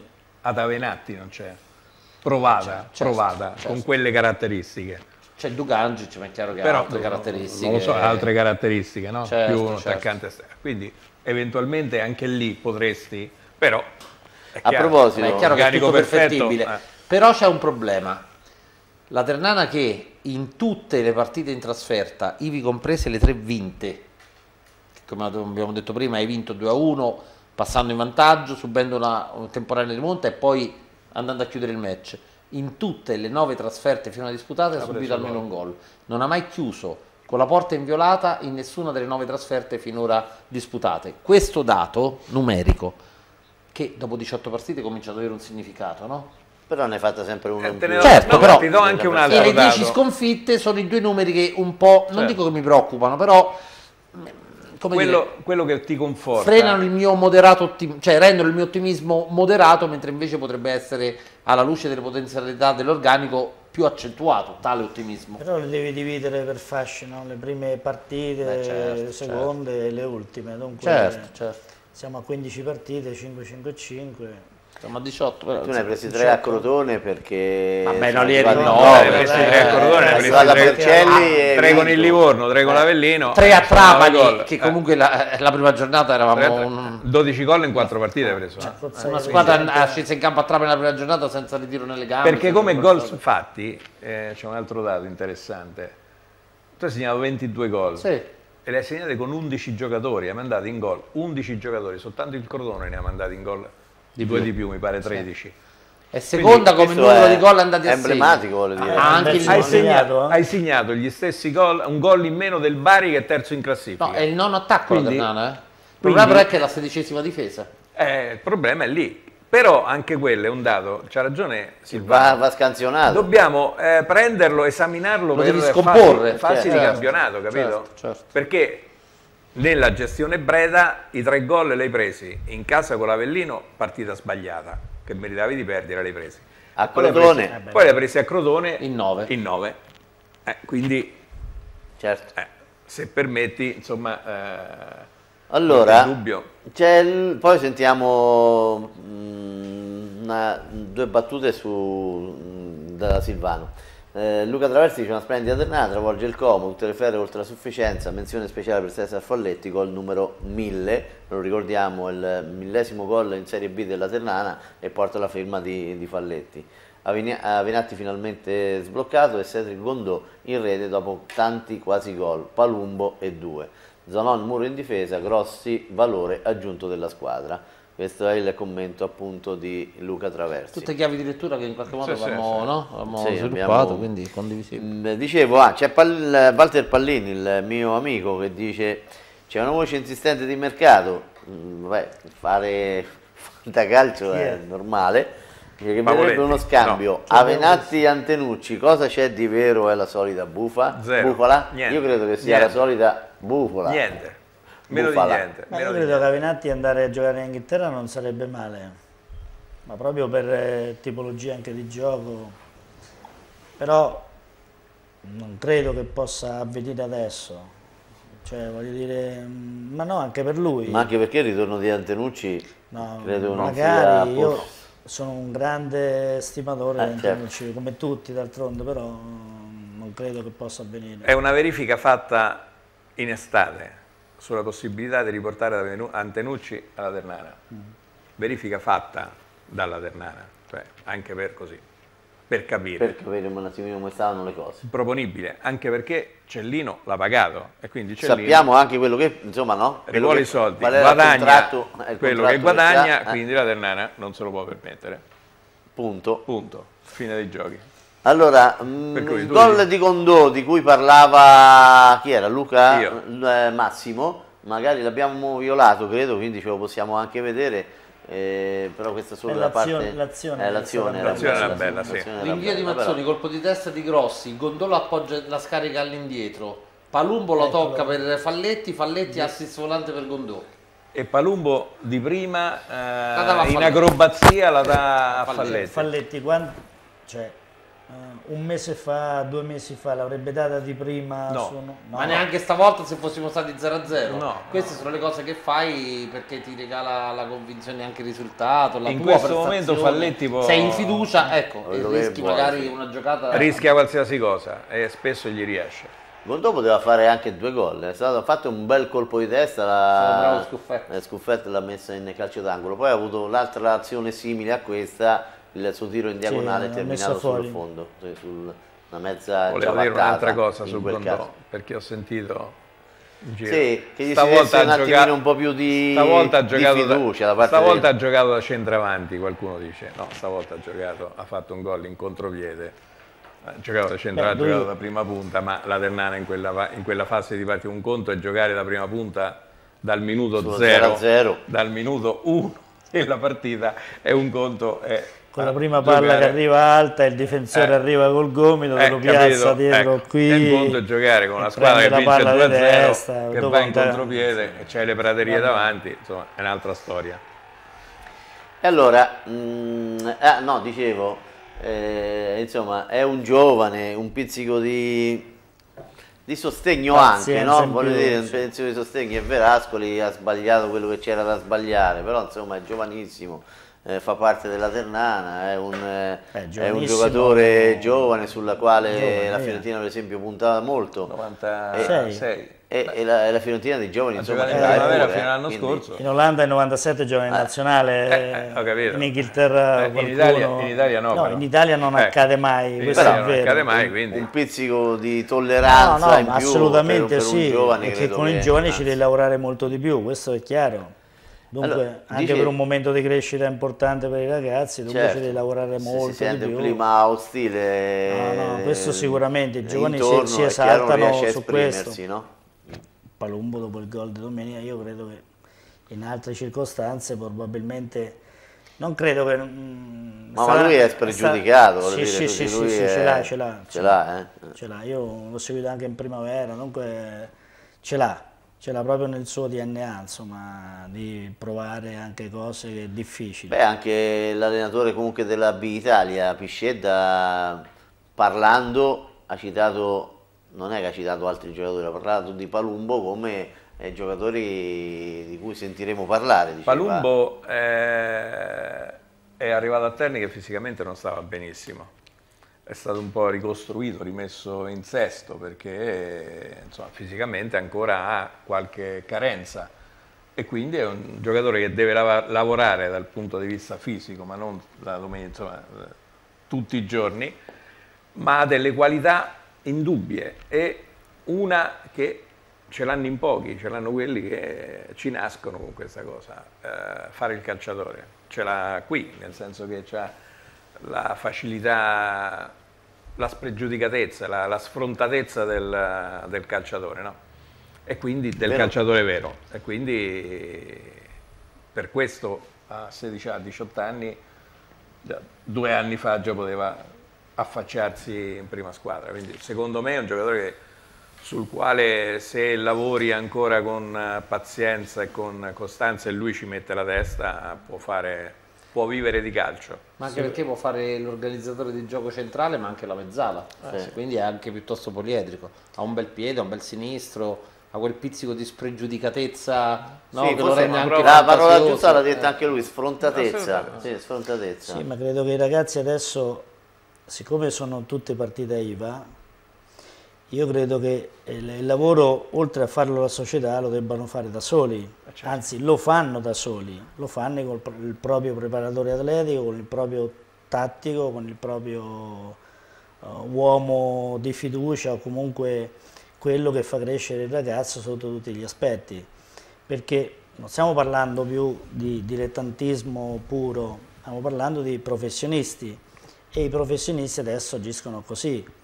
Giustamente dico io, perché quando sei, io ho detto partita IVA, ma insomma non è proprio così, ma sì. chiaramente investi su te stesso e quando investi su te stesso questo è quello che deve accadere perché Cristiano Ronaldo, che è uno dei più grandi giocatori al mondo insieme a Messi, non è che insomma si allena con Real Madrid e basta, si allena con il suo preparatore atletico, con il suo fisioterapista, cioè il fatto di stare bene fisicamente diventa fondamentale anche per gli allenamenti che fai, per come ti comporti, per, per tutta una serie di cose.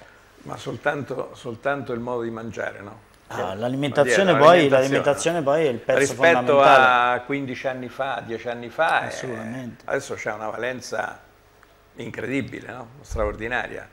Vedi che ogni, noi seguiamo un po' i ritiri, ogni preparatore ha la sua metodologia anche a livello di dieta, no? Tanto sì, che scalzano pure, scalzano pure il medico sì, sì, a volte, no? nemmeno lo chiedono al medico perché impongono loro... No, ma le metodologie sono sempre più evolute, adesso per esempio anche nella Ternana credo sia in voga l'utilizzo ad esempio del ghiaccio dopo partite particolarmente tirate, no? nell'immediato post partita. Penso lo faccio io da eh, tempo questo, questo dopo la palestra. Già, si faceva già eh, quindi voglio dire, eh, sì, ma, sì. ma, poi gli allenamenti personalizzati, cioè no, se non personalizzati con la squadra suddivisa in piccoli gruppi omogenei tra, al loro interno per caratteristiche morfologiche dei componenti, no? Perché i brevilinei fanno un certo tipo di lavoro, i normotipi un altro, quelli più strutturati un altro ancora. Quindi, no, l'analisi, l'analisi in individuale della persona è fondamentale per la crescita, per lo sviluppo, per poi andare anche nei dettagli tattici, ma insomma tecnici, eccetera. Dunque si lavora da soli. Nella palestra della Ternana c'è la baghega e sulla baghega ci sono per ogni giocatore, con la foto del giocatore, c'è il lavoro che deve fare personalizzato giorno per giorno in palestra. Quindi ognuno ce l'ha diverso da un altro, perché giustamente ognuno è diverso da un altro. Siamo tutti certo. uguali. Un paio di mesi fa Gonzales, che è uno che insomma, ha giocato la Coppa Libertadores, ha vinto tre campionati in Uruguay, in Italia era in A tra Verona e Cagliari, ha detto, dice, io per, se parliamo di qualità del lavoro settimanale non vedo grosse differenze tra quello che facevo in A e quello che faccio a termine in B. Quindi, Quindi Vista, quindi da questo punto di vista la, la, possiamo dire che la, la Ternana è una società organizzata. Direi proprio di sì. sì. Certo. E ha uno staff, eh, certo. allenatore, preparatore, medici all'altezza, no? fisioterapisti all'altezza di quelle che sono Poi le dopo devi assemblare il Poi tutto. dopo però certo. l'allenatore qui deve essere bravo. Eh, certo. Come dice Mazzoni, eh, se il, il, nome conta, ma poi dopo è, è quello che c'è dentro la testa eh, che certo. conta ancora di più. Eh, la testa è fondamentale. È fondamentale, quello è fondamentale. Allora, Andrea davanti, leggiamo anche questo messaggio e poi mh, mm, eh, diamo diciamo, la giusta importanza a, che, a coloro che hanno realizzato il gol domenica, sempre grazie a Maurizio Bonifazzi. Eh, ciao Ivano, dice Andrea Tavanti, a te, buonasera a te e ai tuoi ospiti e ai collaboratori, sia visibili che dietro le quinte, che ringrazio sempre perché è anche grazie a loro che possiamo seguire Notte Gol. Ed è vero perché se non ci fossero loro, gli angeli custodi, io li, li definisco di notte gol, in qualche modo e in qualche maniera siamo arrivati a tre punti da quei 25 che se bissati dovrebbero garantirci la salvezza, anche se, come ti ho già scritto nei giorni scorsi, speriamo di poter alzare presto e bene la famosa asticella di zanottiana memoria per portarla a qualcosa in più della salvezza.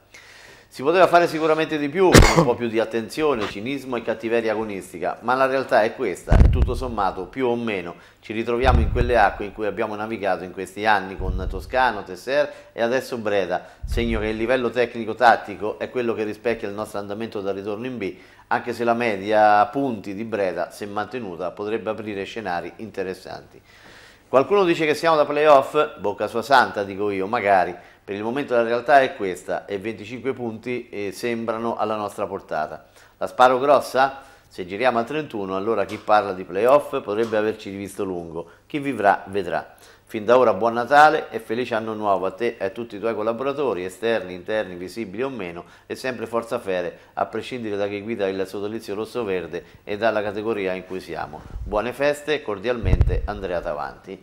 Beh, veramente se dovessimo girare a 31 potremmo ancora ambire al secondo posto, lo dico senza essere ironico. Eh. Io non credo che gireremo... Allora, mi auguro di girare a, a, a 26? A 31, lo considero ah, certo. improbabile, ma se dovessimo girare a 31 potremmo davvero rincorrere il secondo posto, perché voglio dire, cioè, mh, mm, magari aggiusti qualcosa sul mercato, non hai la falsa partenza del girone d'andato per i motivi che tutti conosciamo, puoi pensare di farne qualcuno in più, no? Ma potenzialmente Ora, la Ternana ce l'ha le caratteristiche per, chiaro che per giocarsela con tutti, eh, però certo, voglio dire... Certo.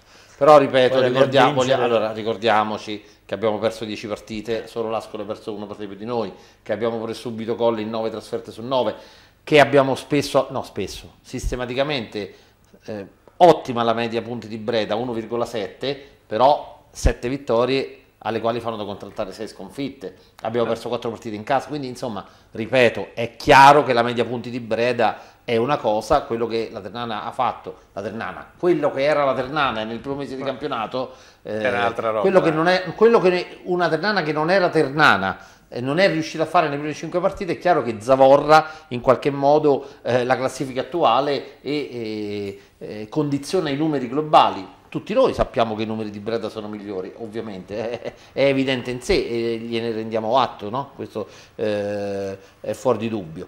Allora, comunque io dico, prego, battere il Lanciano e fare due pareggi in trasferta si, si sistemerebbe tutte eh, le cose perché infatti, finalmente 5 pare, punti sarebbero anche fai 5 sei, punti sei nella media eh, eh, eh, certo. è fondamentale e gireresti non ti la testa 27, gireresti a 27 eh, e stai nel fai bel girare fai il eh, tuo fai il 5 punti in più rispetto all'anno scorso no? stai eh, certo. nell'ombra tranquillo poi quello che verrà verrà. Poi vince l'ultimo Ma non solo affronti la sosta di gennaio con la maggiore serenità, magari la società è anche più No, perché conoscendo un po' le situazioni che conoscendo insomma, quelle del calcio, no?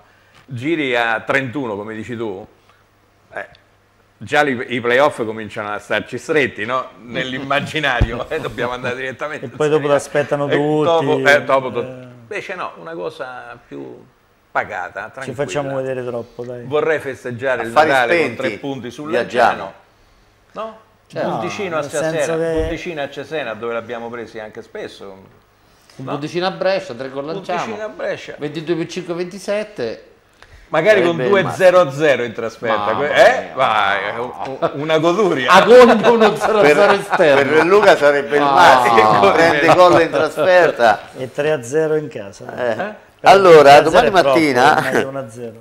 2-0 perché siamo tranquilli. Volevo ricordare che domani mattina alle 10.30 presso la sala della direzione generale dell'azienda ospedaliera Santa Maria di Terni verrà consegnata la sonda pediatrica cardiologica, è una sonda acquistata attraverso la solidarietà, i contributi dei, Ternani con la Fondazione Aiutiamolo a Vivere e la Terni per Terni Anch'io che hanno fatto praticamente da tramite. La sonda uh, pediatrica cardiologica è estremamente importante per il nostro ospedale. Eh, questo dono viene effettuato in memoria di Davide Raggi, un ragazzo che ricordiamo sempre con, eh, tanto, con tanto, affetto. Eh, volevo anche dirvi, no, ringraziare innanzitutto Alessandro H per l'albero di Natale che ci fa un po' d'atmosfera, no? ci avviciniamo al Natale e quindi ci fa un po' da, da ci riempie l'atmosfera la, un po' più natalizia. Grazie davvero ad Alessandro. E volevo... Io pensavo avesse portato Luca che ce l'aveva dietro lì. No, io semmai me lo prendo a fine trasmissione. lo, lo, lo, a casa. a casa. lo riporti però lunedì. Certo, ecco. tanto lo tengo a casa mia. lunedì lo riporto. Eh, L'importante è questo. Non è un problema. Non, non, non, gli dare tanta acqua. Tanto prima, prima, di Natale la fai il 23 la sera, no? La trasmissione, sì, mica la fai il giorno della vigilia. Per la vigilia, vigilia e Natale ce l'hai a casa, anche Ma Santo Stefano. Il 23 giochiamo di no, sera, sì. Ah, no, giochiamo di sera la facciamo di sera. Poi la facciamo lunedì, no? Dopo Cesena, no? 23 lunedì prossimo. 24, sì, ma io vai, vado già sul Natale. Ah, ecco. Perché ti consente questa cosa di avere l'albero di Natale proprio per i tre giorni di Natale di festa, certo. no? Vigilia, Natale, già lo vuoi a casa, lo puoi portare, però basta che te ne ricordi di riportarlo. Eh. Eh, è vero, devi dargli l'acqua, eh? Sì, sì, attenzione. Eh, anche, guarda, se vuoi, io non l'ho fatto perché abbiamo il chroma key, non è possibile, però c'è anche la luce, eh? si accende, tutte colorate. Eh, no, è veramente bello, è bello davvero, sì. Ringrazio Cristina, tra le altre cose, che l'ha realizzato. Allora, dicevo, mh, mm, eh, nel rol di Telecaileo eh, c'è un'altra iniziativa che sta andando praticamente in onda, che è iniziata eh, da sabato scorso, credo, l'asta delle maglie da parte dell'associazione Amici di Teto. Eh, Teto è Stefano oh, Galletti, ragazzo deceduto appunto nel terribile incidente stradale eh, nei pressi di Rocca San Zenone. Queste sono le maglie. Eh, per fare la vostra offerta potete ehm, scrivere direttamente all'associazione Amici di Teto chiocciolagmail.com e quindi potete fare la vostra offerta indicando naturalmente la maglia, quanto offrite e il, nostro, il vostro numero di, di telefono. Eh, puntualmente la vostra offerta poi verrà riportata sulla pagina Facebook Asta Maglia Amici di, di Teto e poi faremo una serata qui a Telegalileo subito dopo Natale eh, ora dobbiamo decidere magari la, la serata, da, la data in cui effettuate questa asta con le ultime offerte praticamente che si potranno fare in diretta qui a, a Telegalileo. Eh, L'associazione Amici di Teto, mh, tutti i soldi che raccoglierà con quest'asta ma anche con altre iniziative che ha messo in, in, eh, in piedi, effettuerà della beneficenza delle opere di solidarietà appunto nel nostro, nel nostro comprensorio, proprio nel ricordo di, di Teto. Quindi potete scrivere all'Associazione Amici di Teto eh, chiocciolagmail.com e fare la vostra offerta. Allora, mh, mm, eh, siamo, parliamo di una, eh, di una... perché mi... Poi, poi magari nella fase finale torneremo a parlare di Ternana mi ha incuriosito un comunicato stampa che è stato fatto dal, dal Campitello. Dal Però non so se, generale? Da, no, prima c'è stato anche un altro del presidente sì. Castellani e poi no, c'è stata io... una tua puntualizzazione sì. eh, sul, in, questo in seguito alla partita che avete giocato in casa con, con l'Ortana. Con l'Ortana. Sì. Ma io Innanzitutto complimenti vorrei... perché è seconda in classifica la squadra. Io vorrei sgombrare il campo da questo punto di vista di polemiche perché non abbiamo bisogno di polemiche. Noi abbiamo fatto una scelta a Campitello, da quando io faccio il direttore generale, una scelta di far giocare i giovani. Abbiamo scelto innanzitutto prima di scegliere i giovani che avevamo già nostri, quando dico giovani 96, 97 e qualche 98 e la scelta dell'allenatore, la scelta dello staff perché per noi è fondamentale e la scelta dei, dei vecchi, cosiddetti vecchi che non sono vecchi eh, ma che comunque sappiano far crescere bene i giovani. Perché noi abbiamo fatto questa scelta e non ci interessa la classifica, ci interessa soltanto far crescere i nostri giovani. No, no, no, no, devo essere onesto. Ma questo non è che ci dispiace se vinciamo il campionato. No, io, io quando allenavo giocavo solo per vincere. Per vincere. Ecco, Dunque questo deve essere chiaro. Non, no, questo però sai benissimo che quando fai giocare molti giovani rischi eh, certo. anche, no? Che, però voglio dire, noi facciamo un campionato di promozione, noi facciamo la Serie B, la Serie A e abbiamo fatto una scelta e i nostri giovani credo che si, stanno maturando tantissimo, stanno crescendo tantissimo e questo ci conforta. La classifica ci aiuta perché chiaramente l'allenatore può lavorare più tranquillamente tutta la settimana, dunque E c'era nata una polemica in quella partita, ma neanche per il risultato, perché io credo che il risultato, chi ha visto la partita sa benissimo che è bugiardo, nel senso che noi abbiamo fatto la partita per tutti i 90 minuti o 94, quelli che sono stati, però abbiamo incontrato una squadra matura, secondo me anche molto bravi, ragazzi in gamba. La squadra allenata da Alessandro Cavalli. Da Alessandro, sì. E devo dire una squadra esperta, una squadra che comunque ha ribattuto benissimo, perché noi eravamo in vantaggio già al diciassettesimo 2-0 e fine del primo tempo eravamo già 2-2, insomma una squadra che non, non, è che si è scomposta più di tanto quando abbiamo fatto... No, la cosa che mi ha dato fastidio non è il comportamento loro, tutt'altro, come qualcuno ha detto. No, è stato solo il comportamento dell'arbitro. E non parlo dei rigori dati o non dati, perché quello è tutto opinabile, dunque... Però ci sono delle, degli atteggiamenti durante la partita che non mi sono piaciuti, mi riferisco in modo particolare a delle trattenute dove è il regolamento che lo dice, non lo dice Silvano Ricci o... Sul rigore dice puoi essere... No, il rigore, io posso può... pensare che è il rigore, certo. lui pensa certo. che non è il rigore e finisce la storia, dire, stiamo sempre lì. Certo. Possiamo discutere all'infinito. Però quando uno prende un giocatore per la maglietta va ammonito, perché lo dice il regolamento, non lo dico io. Eh, eh Però Aureliano non così, vedi Ternano Vicenza. Sì, però voglio dire... Sì, e eh, parliamo di B, eh? Neanche, neanche quell'arbitro lì la, la, pensava così. Però voglio dire, io credo che comunque a noi ci è servito tantissimo, anche aver perso, ci è servito come momento di crescita per questi ragazzi, perché poi noi abbiamo una punta che è il capocannoniere che si è fatta male il primo tempo, abbiamo messo dentro un altro ragazzo, un altro 97 che adesso è stato convocato anche in rappresentativa e io credo che stiamo facendo veramente bene. Quello che, eh, che noi dovremmo ancora più diciamo così, accentuare è questo, eh, questo momento di lavoro individuale dei ragazzi del settore giovanile, perché noi abbiamo un livello molto alto del settore giovanile, ma parliamo dell'Umbria però, non parliamo de, di regioni vastissime.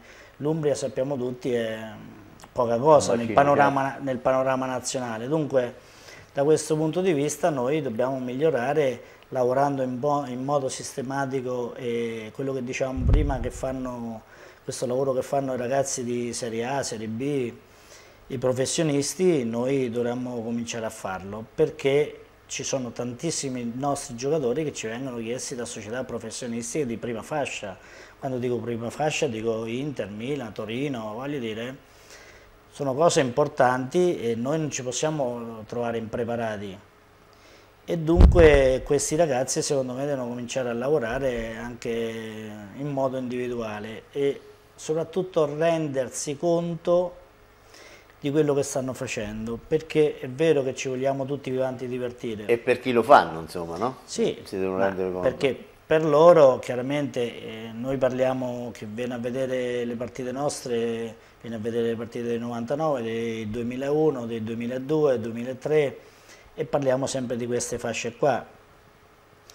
E, però voglio dire, nel panorama, ripeto, nel panorama nazionale l'Umbria, è vero che il Campitello in Umbria è forse migliore, il migliore settore giovanile che c'è, però è, è, comunque poca cosa rispetto a quello che è il Lazio, quello che è la Lombardia, quello che è alcune regioni che hanno campionati eh, certo diversi, importanti, dunque momenti di crescita di, di, di, spessore diverso. Noi dovremmo fare questo e se riusciamo a fare questo secondo me noi possiamo dire la nostra con Ma questi ci ragazzi. Vi state attrezzando? Ci stiamo lavorando, ci stiamo lavorando, non è facile perché lavorare sui giovani non è facile, non c'è un risultato immediato, però stiamo già, lo stiamo già facendo insomma di fatto dunque siamo adesso... Voi per esempio però una palestra non ce l'avete? Sì, sì, noi ce l'abbiamo. Noi abbiamo il miglior preparatore che c'è in Umbria, non lo dico, lo dico veramente. Eh, abbiamo un allenatore... Beh, se lo dici fa nome, no? no, no, il nome non si fa. No, capito, vabbè. Noi abbiamo un grande preparatore atletico che Luca, fa lo sai, io lo prima so, squadra, juniores e settore giovanile abbiamo gli allenatori del settore giovanile tra più È stato un bravi. ex preparatore della Ternana, immagino, con Francesco Giorgini? Chi era? No, no, era con Francesco Giorgini, Luca e Massimo? Eh, No, no, no, non lo so. Vabbè, però, eh, comunque. Sì, E abbiamo degli allenatori del settore giovanile secondo me molto bravi, stanno facendo crescere bene questi ragazzi, la scuola calcio è secondo me a buon- di grandissimo livello, adesso noi dobbiamo migliorare sotto questi aspetti, dunque l'aspetto su cui dobbiamo migliorare è quello individuale, dunque il lavoro finalizzato a crescita individuale dei ragazzi. C'è una rivoluzione copernicana, insomma, a casa del No, no, Campitello. non è tanto rivoluzionaria la cosa. Io nel 93 allenavo il Campitello Eh, e nel 93 io per la prima volta feci, cominciai a lavorare in palestra perché allora c'era il nostro ex presidente del Campitello Ciccioni che aveva una palestra, l'Atena, e io cominciai a lavorare in palestra con i ragazzi che allenavo la prima squadra, chiaramente, vinsero subito il campionato di promozione, che allora c'era un campionato di promozione a girone unico, era molto diversa la cosa rispetto adesso. Poi abbiamo fatto due campionati di eccellenza con un altro grandissimo preparatore atletico, secondo me, poi è andato alla Ternana, insomma, e adesso una palestra. E, e cominciai... fai noi, ma noi... No, no, eh, co- Noi- cominciai a, le- a lavorare già lì. Attualmente lavora anche Beh, con eh, Esposito, no? Per il calcio a 5. Cominciai a lavorare- Eh, per il beach soccer. Beach soccer, sì. E cominciamo a lavorare a livello individuale già allora, dunque stiamo parlando di più di vent'anni fa, figuriamoci Vabbè, se lo facciamo vai. adesso. E vabbè, insomma, a Campitello si... Allora, con giovani tutta sta, ro- crescono. tutta sta roba ci scappano anche le polemiche. No, le polemiche io non le faccio mai, io faccio le Qualcuno l'ha fatta però, se no Ivano non, No, non perché il presidente, il presidente dell'Ortana ha risposto in un tono polemico rispetto a quello che io ho scritto. che Io l'Ortana non l'ho proprio menzionata No, per niente. no, assolutamente. Eh, Non, non mi quindi interessa, loro hanno fatto la loro partita avuto giustamente. La quota di paglia, si dice in questi No, casi? Loro lo so. hanno fatto la loro partita come è giusto che, che sia. Noi abbiamo fatto la nostra, poi hanno vinto loro, ma un risentimento verso l'arbitro era indiscutibile. E ripeto, non sui rigori che non ha dato, su cui non entro minimamente nella discussione, ma nei falli che secondo me è da, è da proprio da regolamento, però vabbè. Comunque la squadra di cavalli gioca bene.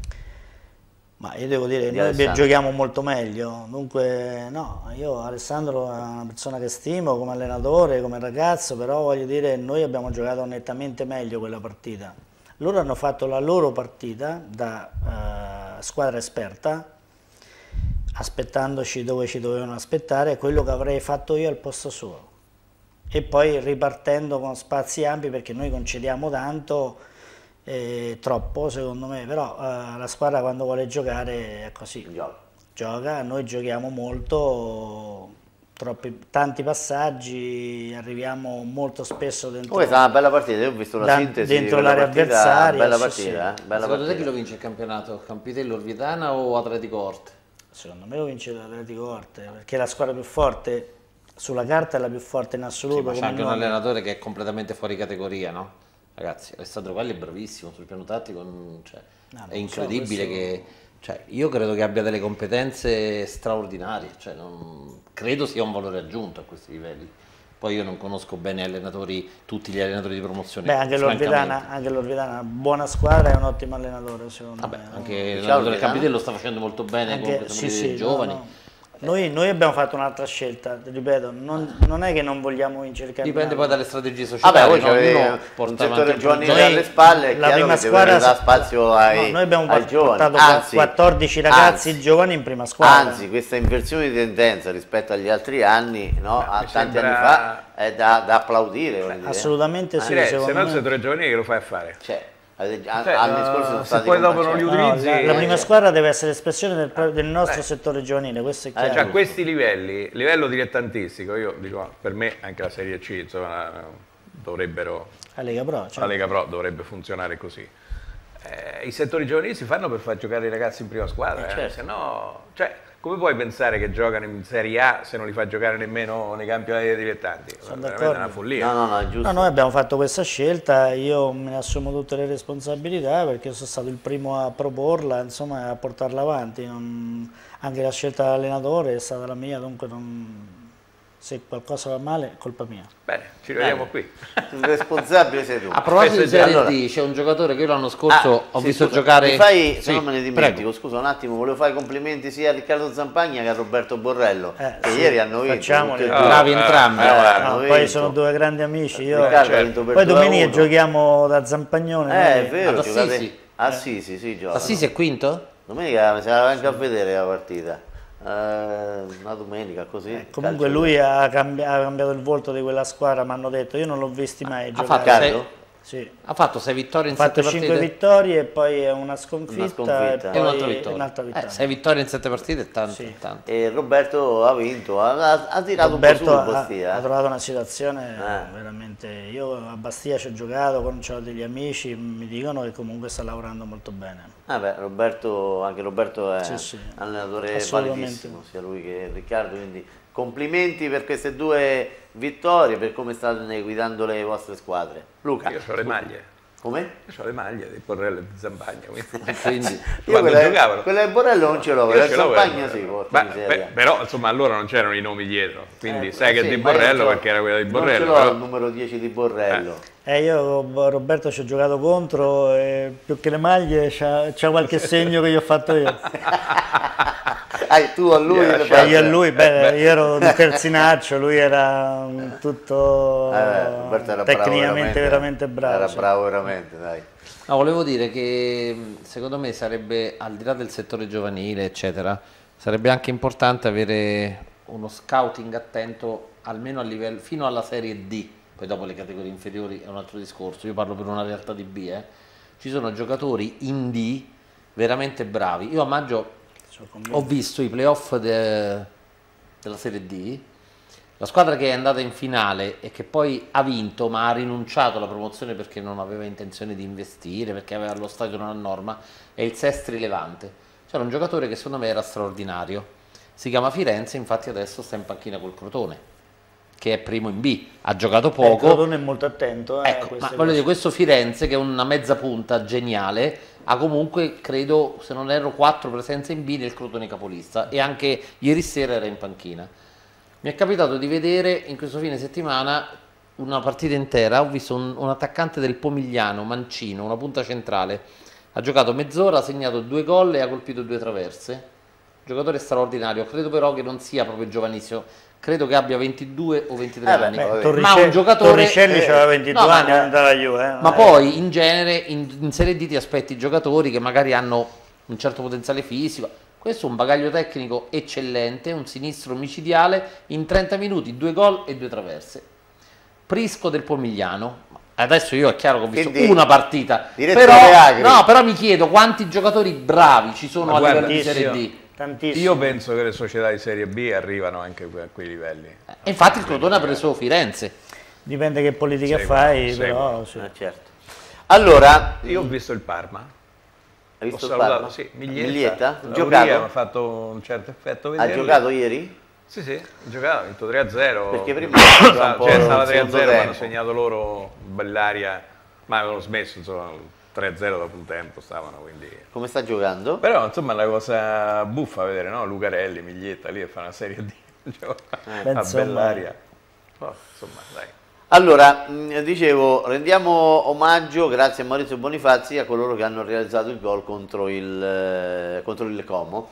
E allora, mh, con Alberto Francioli andiamo a vedere questi lavori grafici appunto di Maurizio Bonifazzi. Eccolo qua, il migliore in campo. Super bello. Anche per voi è il secondo, è il migliore in campo, Sì, Falletti? Sì, beh, Sì, domenica sì. sicuramente sì. Migliore in campo Cesar Falletti, Superman. Se fai gol e fai l'assist e No, ma nei minuti di recupero ha piantato ha, ha doppio le dribbling giocate più- le Soprattutto azioni in più grandissima importanti, forma, eh, della partita come puoi non essere Ma ne poteva fare anche un altro, subito dopo Sì, il fatto sì, il gol. sì. Lui Aveva è in grandissima forma in questo momento, bisogna vedere quando, ecco, quando non sta al 100% quello che riesce a dare a questa squadra. Speriamo che non scenda sotto il 95 Eh. Eh, fino alla fine. E vabbè, questo è il lavoro quindi di Maurizio Bonifazzi per Cesar Falletti. Antonio Palumbo qui con eh, il dito in bocca, una sorta di ciuccio praticamente, e fra un po' lo dovrà addovrare. C'hai pochi mesi di tranquillità, poi dopo vedi come cambia la vita. Iron Man e Antonio Palumbo in gol, secondo gol in, eh, in tre settimane. Esatto. Eh, qui c'è il- eh, l'omaggio a- ad Avenatti che viene Ai abbracciato. parrucchieri, questo è l'omaggio ai parrucchieri per le chiome dei giocatori, vedi cosa Tutti, vedi, Il Delendero, dice Maurizio Bonifazzi, il gol di Felipe Avenatti e l'abbraccio dei compagni di squadra, questo sta un po' a testimoniare che effettivamente dire, tutti sono un po' partecipi al, al momento non brillantissimo, ma insomma speriamo che sia sulla strada del, eh, della migliore condizione e del miglior convincimento di essere Avenatti, perché forse è quello che, che manca. Poi andiamo avanti e ci sarà eh, Falletti, vabbè, ha fatto il gol, oltre al migliore in campo ha realizzato anche il primo gol. E qui c'è un Gondò, il Panteron di Maurizio Bonifazzi. e non, lo so, non penso che sia... Credo che sia Non, non penso che possa essere un termine... No, eh, credo che l'abbia coniato all'impronta. Sì, è grande Maurizio. In quale lingua? Però- Sì, una lingua adattata da Maurizio Bonifazzi. Un abbraccione a Maurizio Bonifazzi è ivoriano, quindi e un, è un ringraziamento veramente per, eh, eh, per tutti i lavori che ci ha presentato, che ci ha presentato questa sera. Allora, eh, imbocchiamo la fase finale della, della trasmissione. Si va a Cesena, vogliamo ascoltare Luca che ci, ci rincuora un pochino. Acquarone. Scusa. No, io eh, speravo che la Ternana chiedesse di giocare mercoledì, cioè dopodomani, perché oggi il Cesena ave- oggi aveva 10 indisponibili e, e probabilmente di questi 10, 7-8 non avrebbero recuperato. Però la richiesta di anticipo non è partita, quindi giocheremo sabato. Non è elegantissimo da parte mia No. Partire nell'analisi del Cesena dai presunti o potenziali no. o probabili indisponibili. No, perché se vai avanti così potresti Allora, scusate, eh. un'epidemia No, no. il venerdì fa, sera. fa. Scusate, eh, è arrivato un messaggio di Maurizio Bonifazzi che dice era il soprannome di Marcello Salaieta, secondo Maurizio, quindi abbiamo riso, ma no, probabilmente... no, Grande Ah, Maurizio. Ciao Maurizio, grazie davvero. Pantalone sarà ieri. Anche bel- bellissime queste elaborazioni grafiche. No, dicevo comunque, Sì. eh, il Cesena è sicuramente fra le tre o quattro squadre più attrezzate del campionato sulla carta. È vero che nelle ultime sei partite ha raggranellato soltanto 5 punti, ma un momento di difficoltà in un campionato ci può stare, soprattutto in un momento in cui l'infermeria è affollata. È anche vero però che il Cesena in casa vanta un ruolino di marcia importante e mi tengo basso. Sette vittorie, un pareggio e una sola sconfitta. Quindi insomma ha vinto sette partite su nove, al di là dei 10.000 abbonati e quant'altro. Oggi non si sono allenati e non ci saranno con la Ternana due titolari fissi o potenziali tali, il difensore centrale Capelli e l'attaccante Ciano, e questi non ci saranno. E I poi i tre punte esterne che non sarebbero titolari, ma che comunque sono giocatori, a parte Dal Monte che è un giovane, ma in prota un altro ex Padova di quel Padova stellare e Diuric, che insomma sono giocatori Beh, per Diuric questa categoria importante. Il centravanti sì, che ha giocato anche nel Trapani, il Nazionale croato. Ci ha Esatto. giocato anche contro noi quando Oh. giocavamo col Cesena, no? Esatto. E siamo a quota 5. Tutto fisico. Poi sono in forte dubbio Mazzotta, che Drago si è portato da, Ex Crotone. da Crotone, potrebbe rientrare. C'è anche da dire che si gioca il posto con Renzetti, quindi sono due cotitolari alla parte. Eh, alla pari, chiedo scusa. Succi, che comincia ad avere 32 anni, va per i 33, ma insomma in questa categoria ha fatto gol importanti. Eh, E ha fatto anche un gol sul calcio di punizione a noi, Esatto, eh. il giovane attaccante scuola Siena Rossetti, che l'anno scorso era all'Atalanta, si è fatto male eh, sabato a Vercelli. Inoltre si sono allenati a parte, ma dovrebbero recuperare Sensi e l'ex rossoverde Ragusa. Comunque, diciamo che il Cesena in questo momento è in difficoltà, ha perso male a Vercelli, giocando male, paga Dazio evidentemente a questo problema dell'infermeria, ma è chiaro che dei- di questi 8-10 giocatori che ho citato, alcuni recupereranno e comunque il Cesena ha giocatori in ogni caso importantissimi in avanti che stanno bene fisicamente, mi viene in mente Molina a destra, ex Modena e Atalanta, Garritano che sta giocando largo a sinistra, mi viene in mente Sensi, il regista, anche lui ha qualche piccolo acciacco, ma insomma che si è imposto come uno dei centrocampisti centrali migliori del campionato, io non lo conoscevo francamente prima di questa stagione, onestamente, così come non conoscevo la mezzala destra che si è, mai, proprio non, non ne conoscevo l'esistenza fino a tre mesi fa, Cone lo conosciamo, eh, insomma c'ha già, sebbene relativamente giovane, qualche campionato di B alle spalle. In difesa hanno giocatori esperti, c'è l'ex professore De Lucchini che però gioca a corrente alternata, non, diciamo non è un, in teoria, titolare fisso. un titolare fisso, però ci sono Caldara e Magnusson al centro, abbiamo detto che a sinistra in teoria si potrebbero alternare Mazzotti e Renzetti, il primo in questo momento ha qualche problema fisico, dall'altra parte c'è Perico, ecco a mio avviso il portiere non è all'altezza dell'organico. Gomis è un però portiere, alterna grandi è un portiere parate. molto discontinuo, sì, però io credo Eh, che sia a, a, un portiere Bercelli, a. Bercelli ci ha messo del suo, devo dire. eh. Esatto.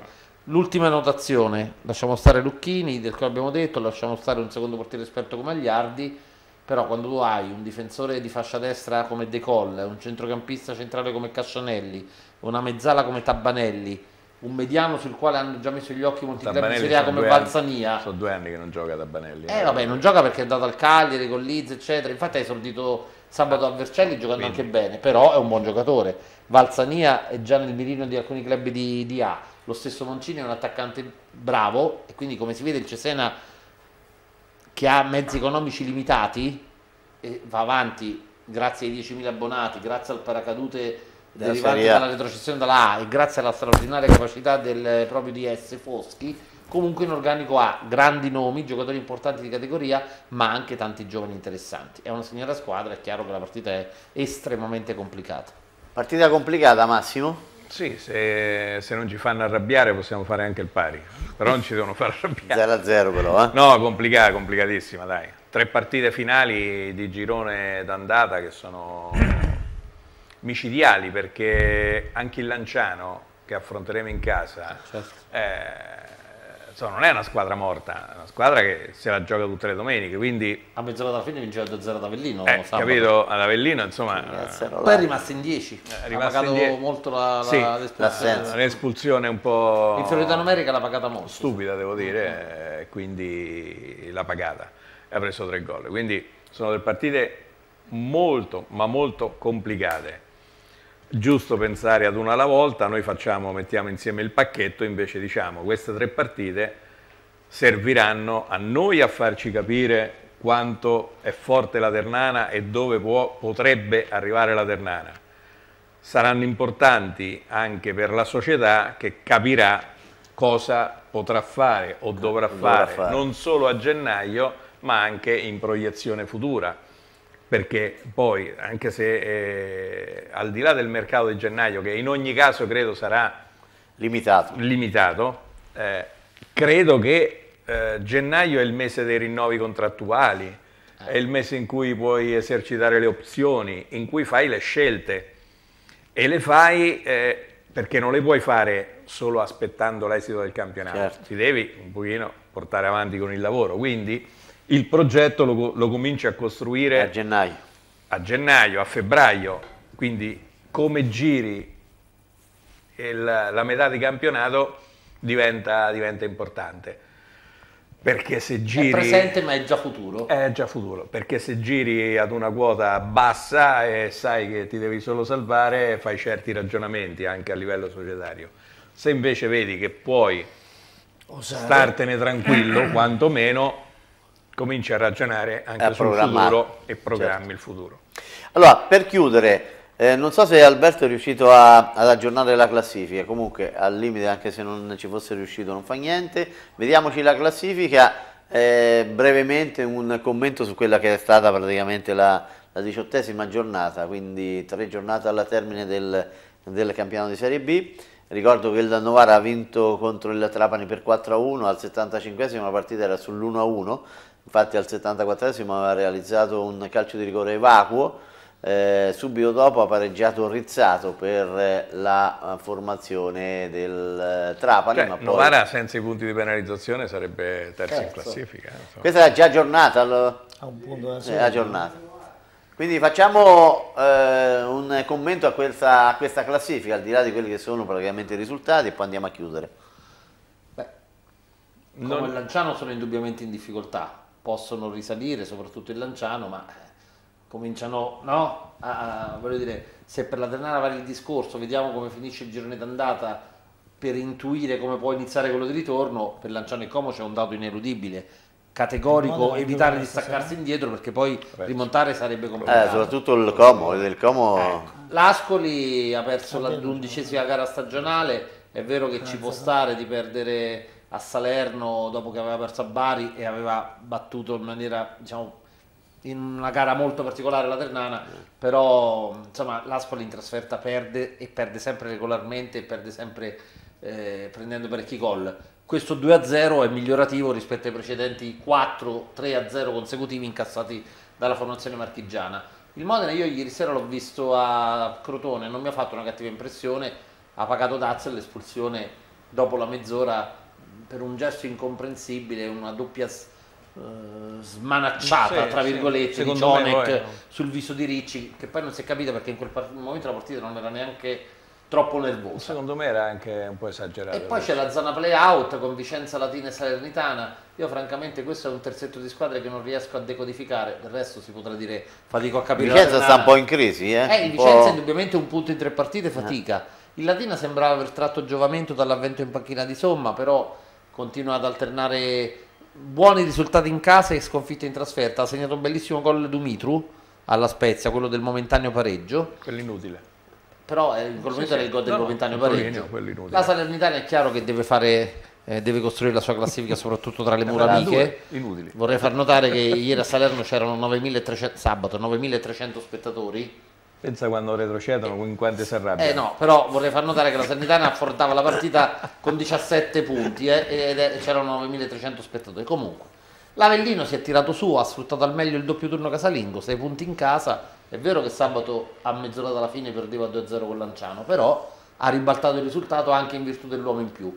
La Provercelli, esattamente come la Ternana di Breda, la Provercelli di Foscarini, non pareggia mai, o vince o, O perde. perde. E comunque E diciamo questa che- volta ha battuto il Cesena. Stavolta ha battuto il Cesena e anche meritatamente. Foscarini l'ha definita la migliore partita della sua gestione. Il Livorno ha preso un buon punto, o quantomeno un punto accettabile contro il Cagliari.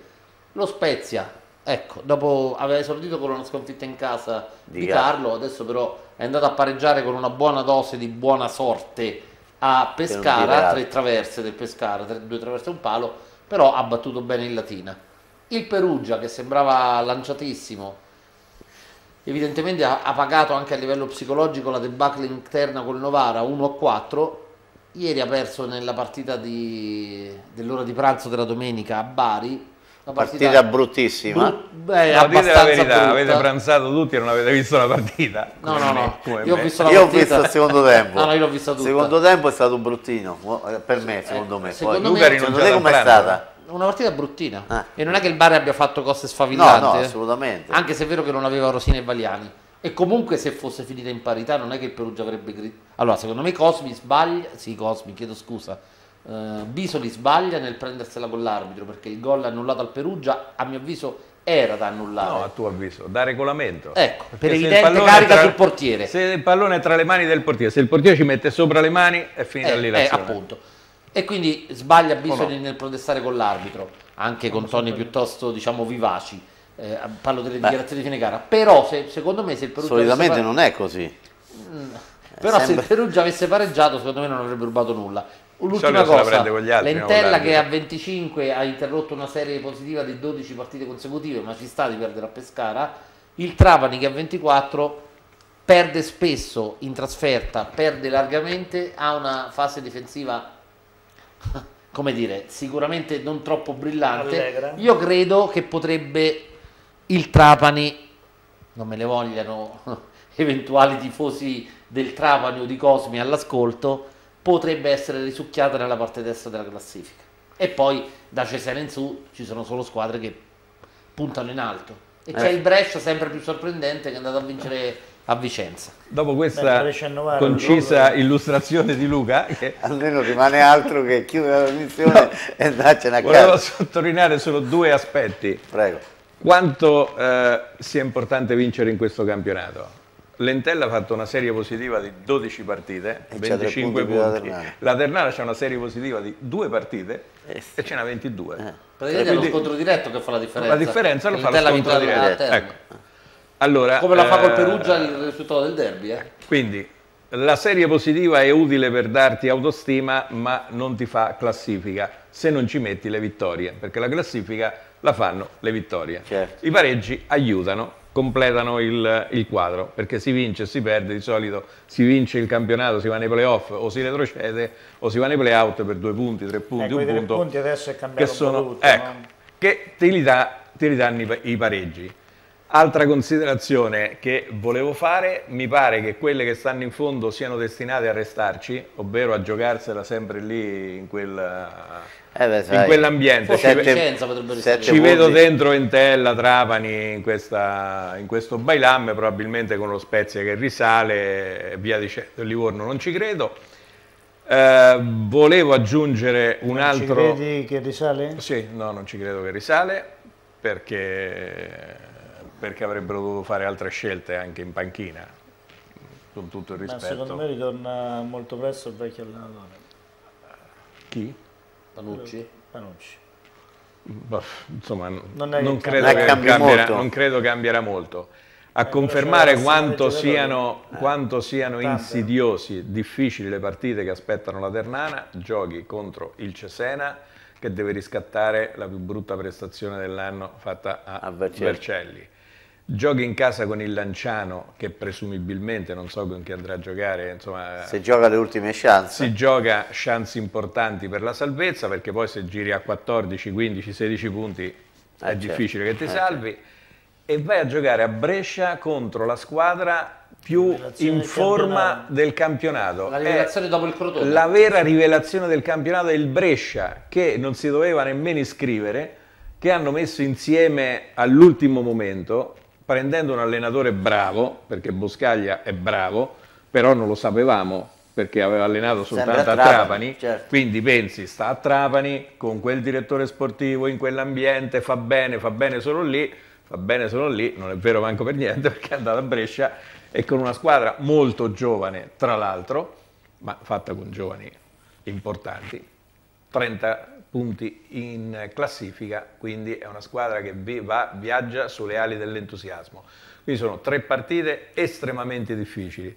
Chi pensa che il peggio è passato per la Ternana sbaglia perché poi in Serie B ogni partita è, è una battaglia. Guarda il Como. quindi- Guarda il Como che stava vincendo a Eh. Cagliari al 92 Ecco, quindi occhio, occhio alla penna perché campionato è tutto, È tutto tutto ancora da, da- da decifrare, tranne insomma, le prime 3 o 4 che credo. Allora, torniamo in studio. Qual è il parere di Silvano? Tue- tuo- le tue considerazioni su questa classifica, su questo campionato di Serie B questa in classifica generale? è quello che ha detto il campionato, cioè ha detto il campo, non è c'è niente di, di Quincy nuovo. bleffa, eh, dopo no, 18 Quincy partite. bleffa, Dopo no, 18 non sono partite. quattro partite perché dopo quattro partite puoi bleffare, puoi dire tutto, ma insomma dopo tutte queste partite. Puoi partire sparato, puoi partire... Sì, sì, no, ma poi stranamente quello che nessuno di noi pensava, ci sono le, le sorprese che ci sono sempre in Serie B, eh. Però che il Brescia fosse stata la squadra da battere o comunque la squadra rivelazione di questo campionato io non ci avrei scommesso neanche un centesimo. neanch'io. ma nemmeno a Brescia. Ma eh. proprio per quello che era accaduto voi. durante, durante la fase finale del campionato dell'anno scorso, per l'inizio di quest'anno, una È serie di cose. Sul Crotone, il Crotone non pensavo comunque che al fine del giorno andata fosse primo, però ancora non si sa, eh, però voglio dire, sta comunque lì davanti. Però il Crotone ci ha avuto sempre questo intuito maggiore rispetto ad altri di lavorare sui giovani, di prendere giovani importanti da primavere importanti, prendere ragazzi con un certo spirito, con una certa mentalità e dunque stanno facendo veramente bene. Gli va dato atto che sanno scegliere, sanno scegliere Anche l'allenatore. Anche l'allenatore chiaramente, ma anche i ragazzi, soprattutto i ragazzi. Io non so se l'ha scelto l'allenatore o comunque... No, Ursino, tutto Ursino. Sì, però ha scelto bene anche l'allenatore perché fai un Sì. investimento su un allenatore che ha allenato un anno soltanto. Certo. Questo, È questo un allenatore estremamente meticoloso. Io ho visto eh, il pre-partita dell'ultimo, hanno giocato ah, proprio a, a Como, mi pare. Mi pare la partita di Como. Beh, facevano vedere che Juric, quando sono entrati, arrivati a Como, le squadre entrano in campo in abiti borghesi, Certo. in tuta così, Sì.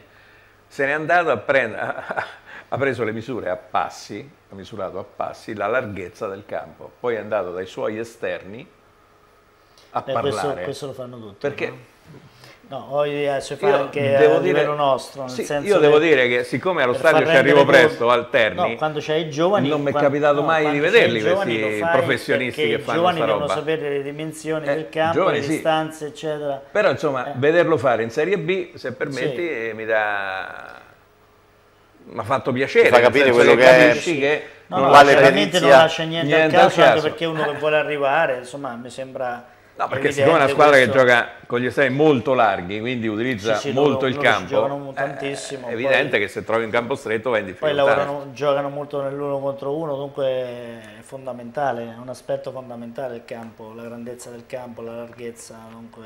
Con la ternana del compianto Club Luna e di Giorgini che stringevano continuamente Io- il campo, sarebbero trovati in Io difficoltà. non ho mai visto una squadra, già il ristretto. 3-4-3 è un modulo Metti un palo, Che- sbatti sempre lì. molto spettacolare ma parimenti rischioso, no? Eh, Se sbagli un movimento ti trovi l'avversario in casa, cioè in area di rigore. Ma io un 3-4-3 così esasperato, con i due centrale di centrodestra, Yao, non lo conoscevo, bravissimo. Il cent- scuola Inter se non erro, il centrale di centrosinistra lo conoscevo perché ha giocato a Gubbio, Ferrari, ha giocato male solo con la Ternana, tutte le altre partite ha giocato male, ha giocato molto bene, così costantemente alti e sempre capaci di accompagnare l'azione palla al piede e di essere spesso nella metà campo avversaria, Molto propositivi, molto propositivi ma anche con piedi dignitosissimi e capaci anche di duettare con la mezzala che si allarga e poi di creare la catena in sovrapposizione con l'esterno. Io un 3-4-3 così spregiudicato e devo dire a oggi così funzionale non l'avevo mai visto. Che funziona perché? Perché hanno trovato la punta giusta. Perché nel calcio, come Eh, ribadiscono anche quelli veri di giornalisti, quelli più importanti di noi, lo schema, il Dici, ieri ha fatto un della gran squadra, gol. Io non l'ho visto, ma ha fatto un gran lo gol, dettano gli Attac- indovinate che ha sbagliato sul Lo gol? dettano gli attaccanti. Popesco. Eh, e quindi gli attaccanti, se tu ci fai caso, chi c'ha gli attaccanti, guarda la classifica e poi mi dici chi ha gli attaccanti. Eh, ma lo stesso si c'ha. Caracciolo che ha gio- giocato poco Eh. ha già segnato 4 gol quello dell'Udinese Geico vabbè giocatore esperto bravo 33 anni ha già segnato 8 gol quando hai le punte Crotone forti trova Budimir, Cagliari No, c'era Budimir. tutti gli attaccanti, quelli che erano in circolazione, l'ha presi tutti, meno mai Venatti. Eh, di che parliamo? Beh, però se prendeva il Venati Bari- non, avrebbe preso... Oh, sì. Melchiorri. No, no, no. Ah, l'altro. Cerri, Cerri, Cerri. Del No. Melchiorri l'aveva preso Melchiorri. comunque Melchiorri l'aveva già Melchiorri preso. l'alternativa era tra Venati e Cerri Cerri e Avenatti. A Cagliari mi hanno detto che se prendevano Venati non No, no, Cerri, Melchiorri. a Merchiori l'avevano già preso. Allora, Allora, Cerri- Cerri Avenatti. subito a Venati. senti, chiudiamo un Beh, attimino Cerri non hanno pagato. con le, Eh, impressioni. pagavano. Che ne dite del sorteggio di Champions League? Ottimo. Ottimo. Per gli altri. per gli altri. No, dire, tanto No, le no. partite le devi fare tutte, Eh, certo sì, è meglio eh. incontrarle in finale, però insomma se, se la Juve becca il Bayern ce ne faremo una ragione. Allora, la Juve, eh, il Bayern ha beccato, secondo me, dopo il Barcellona, la peggiore. squadra peggiore che potesse incontrare. Perché la Juve se la gioca con tutti. E non lo dico da, io non sono juventino, quindi non lo dico da tifoso. Quindi. Quindi Però, Bayern è la siccome squadra che doveva evitare. Un po' di calcio lo seguo, anche quello non vedo questo giovanotto qui che aveva visto lui della Paganese, insomma vedo... Ma che fa canese Pomigliano Ah, Taranto 2 a Pomigliano, 2 Pomigliano. Ah, perché c'era il Taranto. Ah, ecco, vabbè, insomma, Eh. quella roba lì... a no. proposito c'è Perché Yeboah del Taranto che è fortissimo Yeboah? Yeboah ex Turris fortissimo Ah, scusa, mettiti d'accordo. con Magolo eh, insieme giocano Magolo Yeboah e mentre la Roma prende il Real Madrid peggiore delle ultime stagioni con Benitez in grandissima difficoltà, difficoltà. eh, con Cristiano Ronaldo che dichiara mi manca tanto Ancelotti, spero di, prima di chiudere la carriera di tornare a giocare con lui. Insomma, credo Che ambiente- che che se non sfrutta questa occasione... C'è un bell'ambientino. Beh, però i valori, i valori delle squadre ci sono Sì, tutti, sì, ma che io ho visto Real Madrid vari- l'altra sera no, no, eh, con il Real Villarreal, Madrid, ti posso io- garantire che... No, è vero, è inguardabile rispetto alle- al potenziale che ha, però voglio dire, se decidono di giocare non ce n'è per nessuno. Nemmeno neanche, per l'allenatore. neanche per il Barcellona. No, nemmeno per l'allenatore, nel senso che sì, fanno da sem- soli. Mi sembra di aver capito che fanno da soli. fanno da soli Eh, perché dicono fanno da mettere soli da parte. perché cioè, Benitez dopo, dopo la partita col Barcellona poi l'hanno proprio messo da parte. Beh, insomma, no. No? Mi sem- ma, insomma, Però sembra certo, se la Roma evidente. gioca come con il Napoli, che per fare un punto non passa da metà No, campo, La Roma eh, la, la vedo in un dura. momento poco, poco favorevole, anche sotto l'aspetto della forma fisica, insomma, non lo so. però Sì. giocano a febbraio. eh, quindi- Ecco appunto, adesso E poi c'hanno tempo. e- Garzia se ritrova Gervigno ritrova anche il gioco, quindi Beh, Gervinho per lui è importante, Comunque, questo è chiaro. Eh, certo. per come conosco un po' queste squadre dico se la Roma gioca bene con De Rossi, Naingolani, Salà, Gervigno Gervinho e Geco, Salà, Gervigno e Geco un problema glielo creano. Assolutamente Un sì. problema Per glielo Luca? Allora, i miei commenti sono neutri, non, non necessariamente lucidi, perché io in Serie A ho una vaga... Allora, io detesto tre squadre, Bari, Taranto e Ascoli, le detesto, tifo per la Ternana in maniera viscerale e ho una vaga simpatia per l'Atalanta, così mi è simpatico e vince, mi fa piacere. Quindi sono fuori dal giro, Eh. cioè le big non, non mi interessano. Detto Non è questo... questione di tifo, eh. Io No, sono, no. sono interista No, in Coppa. detto proprio- questo, no, questo preambolo per dire, io ero convinto che la Roma quest'anno, anche grazie alla falsa partenza della Juventus legata ad una serie di concomitanze, gli infortuni, Chedira, Marchisi, alcune scelte particolari di, di Allegri, pensavo che la Roma fosse la principale candidata allo scudetto, anche più del Napoli e della Fiorentina. E, e più dell'Inter, anche se l'Inter uno dice non ha gli impegni nelle coppe europee ne può trarre vantaggio. I fatti mi stanno dando torto. La Roma nelle ultime 12 partite, correggetemi se sbaglio perché mi potrei sbagliare, tra campionato e coppe, nelle ultime 12 ne ha vinta una. È un po' poco, eh. Eh beh, Strutturalmente, al di là delle difficoltà contingenti del Real Anzi, Madrid, che regge ancora Garzia. Ecco, strutturalmente, al di là delle- del momento di difficoltà Che del Real Madrid, che è sotto gli occhi di tutti, la Roma Adesso. pur avendo un buon organico, avendo attaccanti importanti, è inferiore al Real Madrid, ma non mi sembra disonorevole questo per definizione.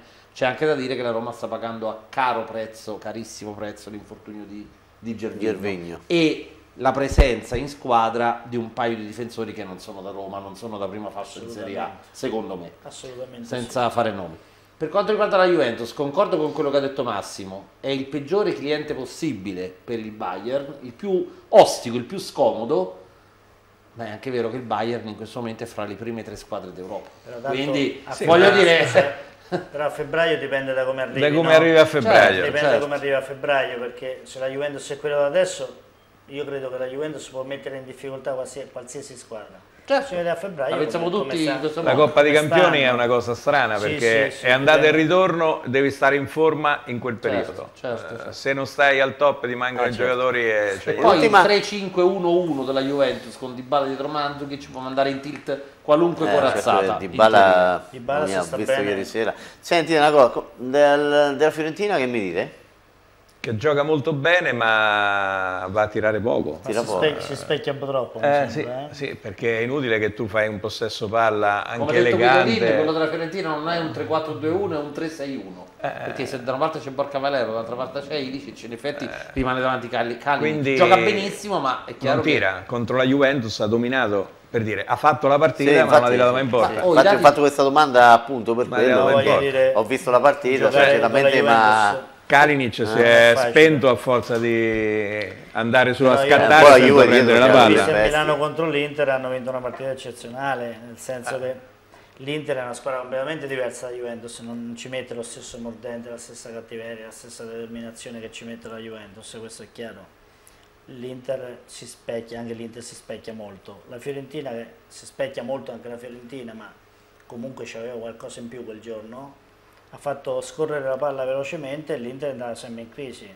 4 a 1, no? Eh, 1 sì, a 4. 1 a 4. Con la Juventus eh, la palla scorreva Con la lenta. Juventus, eh, cioè, dopo che Dybala, quando Dybala ha deciso di giocare, ha messo in L'ha crisi, messo in ha messo in crisi la Fiorentina. Al di là dell'1-1 che è avvenuto subito su un gol, Beh, probabilmente quella, anche- quella ha aiutato molto. no? eh, assolutamente Eh, sì, però voglio dire è anche abbastanza fortunoso perché secondo me non c'ha non, No, non l'ha ha fatto fatto, non apposta, ha tirato no. per fare gol, però voglio dire succede. Però la Juventus anche sul secondo gol, ragazzi, ha fatto un treno su quella palla, ragazzi, cioè, convinti, Comunque, determinati. il calcio migliore lo gioca il Napoli. Beh, anche la Fiorentina. eh. Ma secondo me dipende che calcio vuoi. È un Allora, calcio che sia beh, un no, calcio bello che si Bello pratico, redditizio. offensivo, redditizio. eh.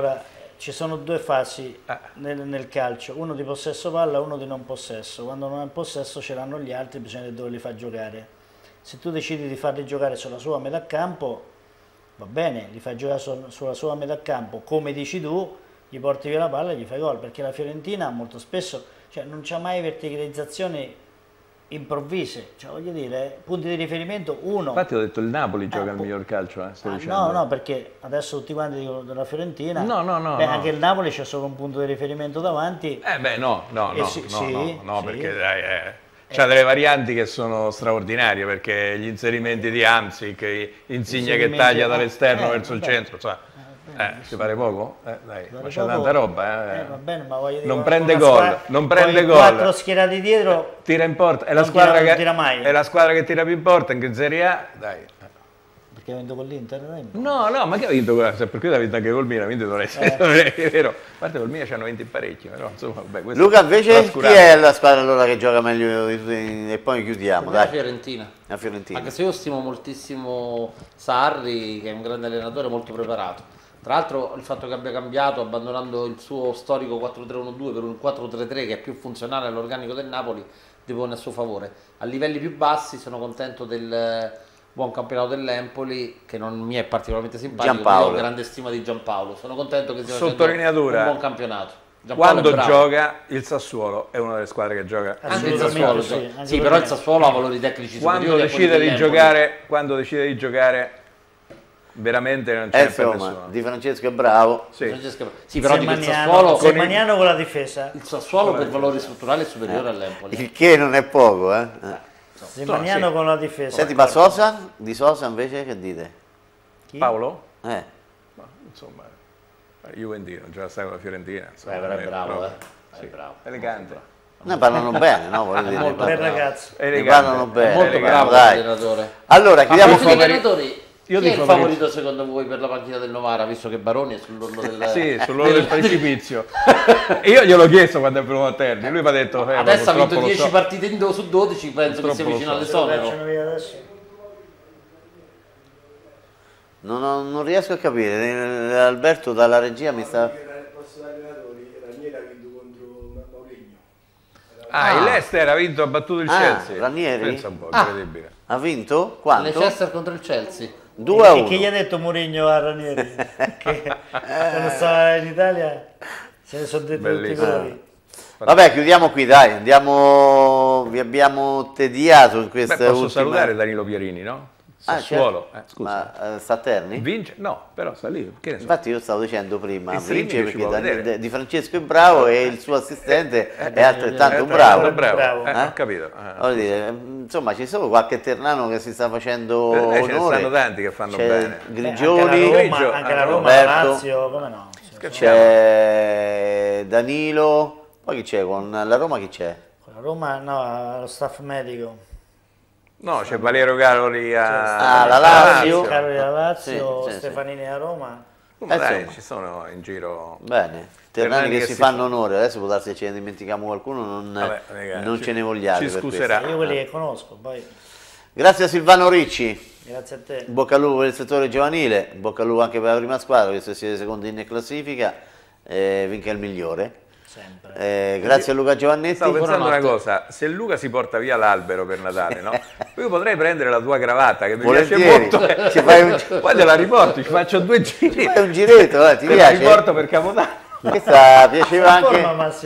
Me la sono messa anche perché piaceva a Micacchi, allora detto, Eh, eh, per vabbè. salutare Micacchi ci mettiamo... No, qualche a- donna, eh, per salutare Micacchi. Salutare Micacchi, Ma dai, ma per è favore. un amico, è un amico David. No. Allora, ci vuoi fare un giro? Dopo Ti tolgo. faccio un giro. Porti Dopo lunedì. Natale, per Dopo. Natale, va bene.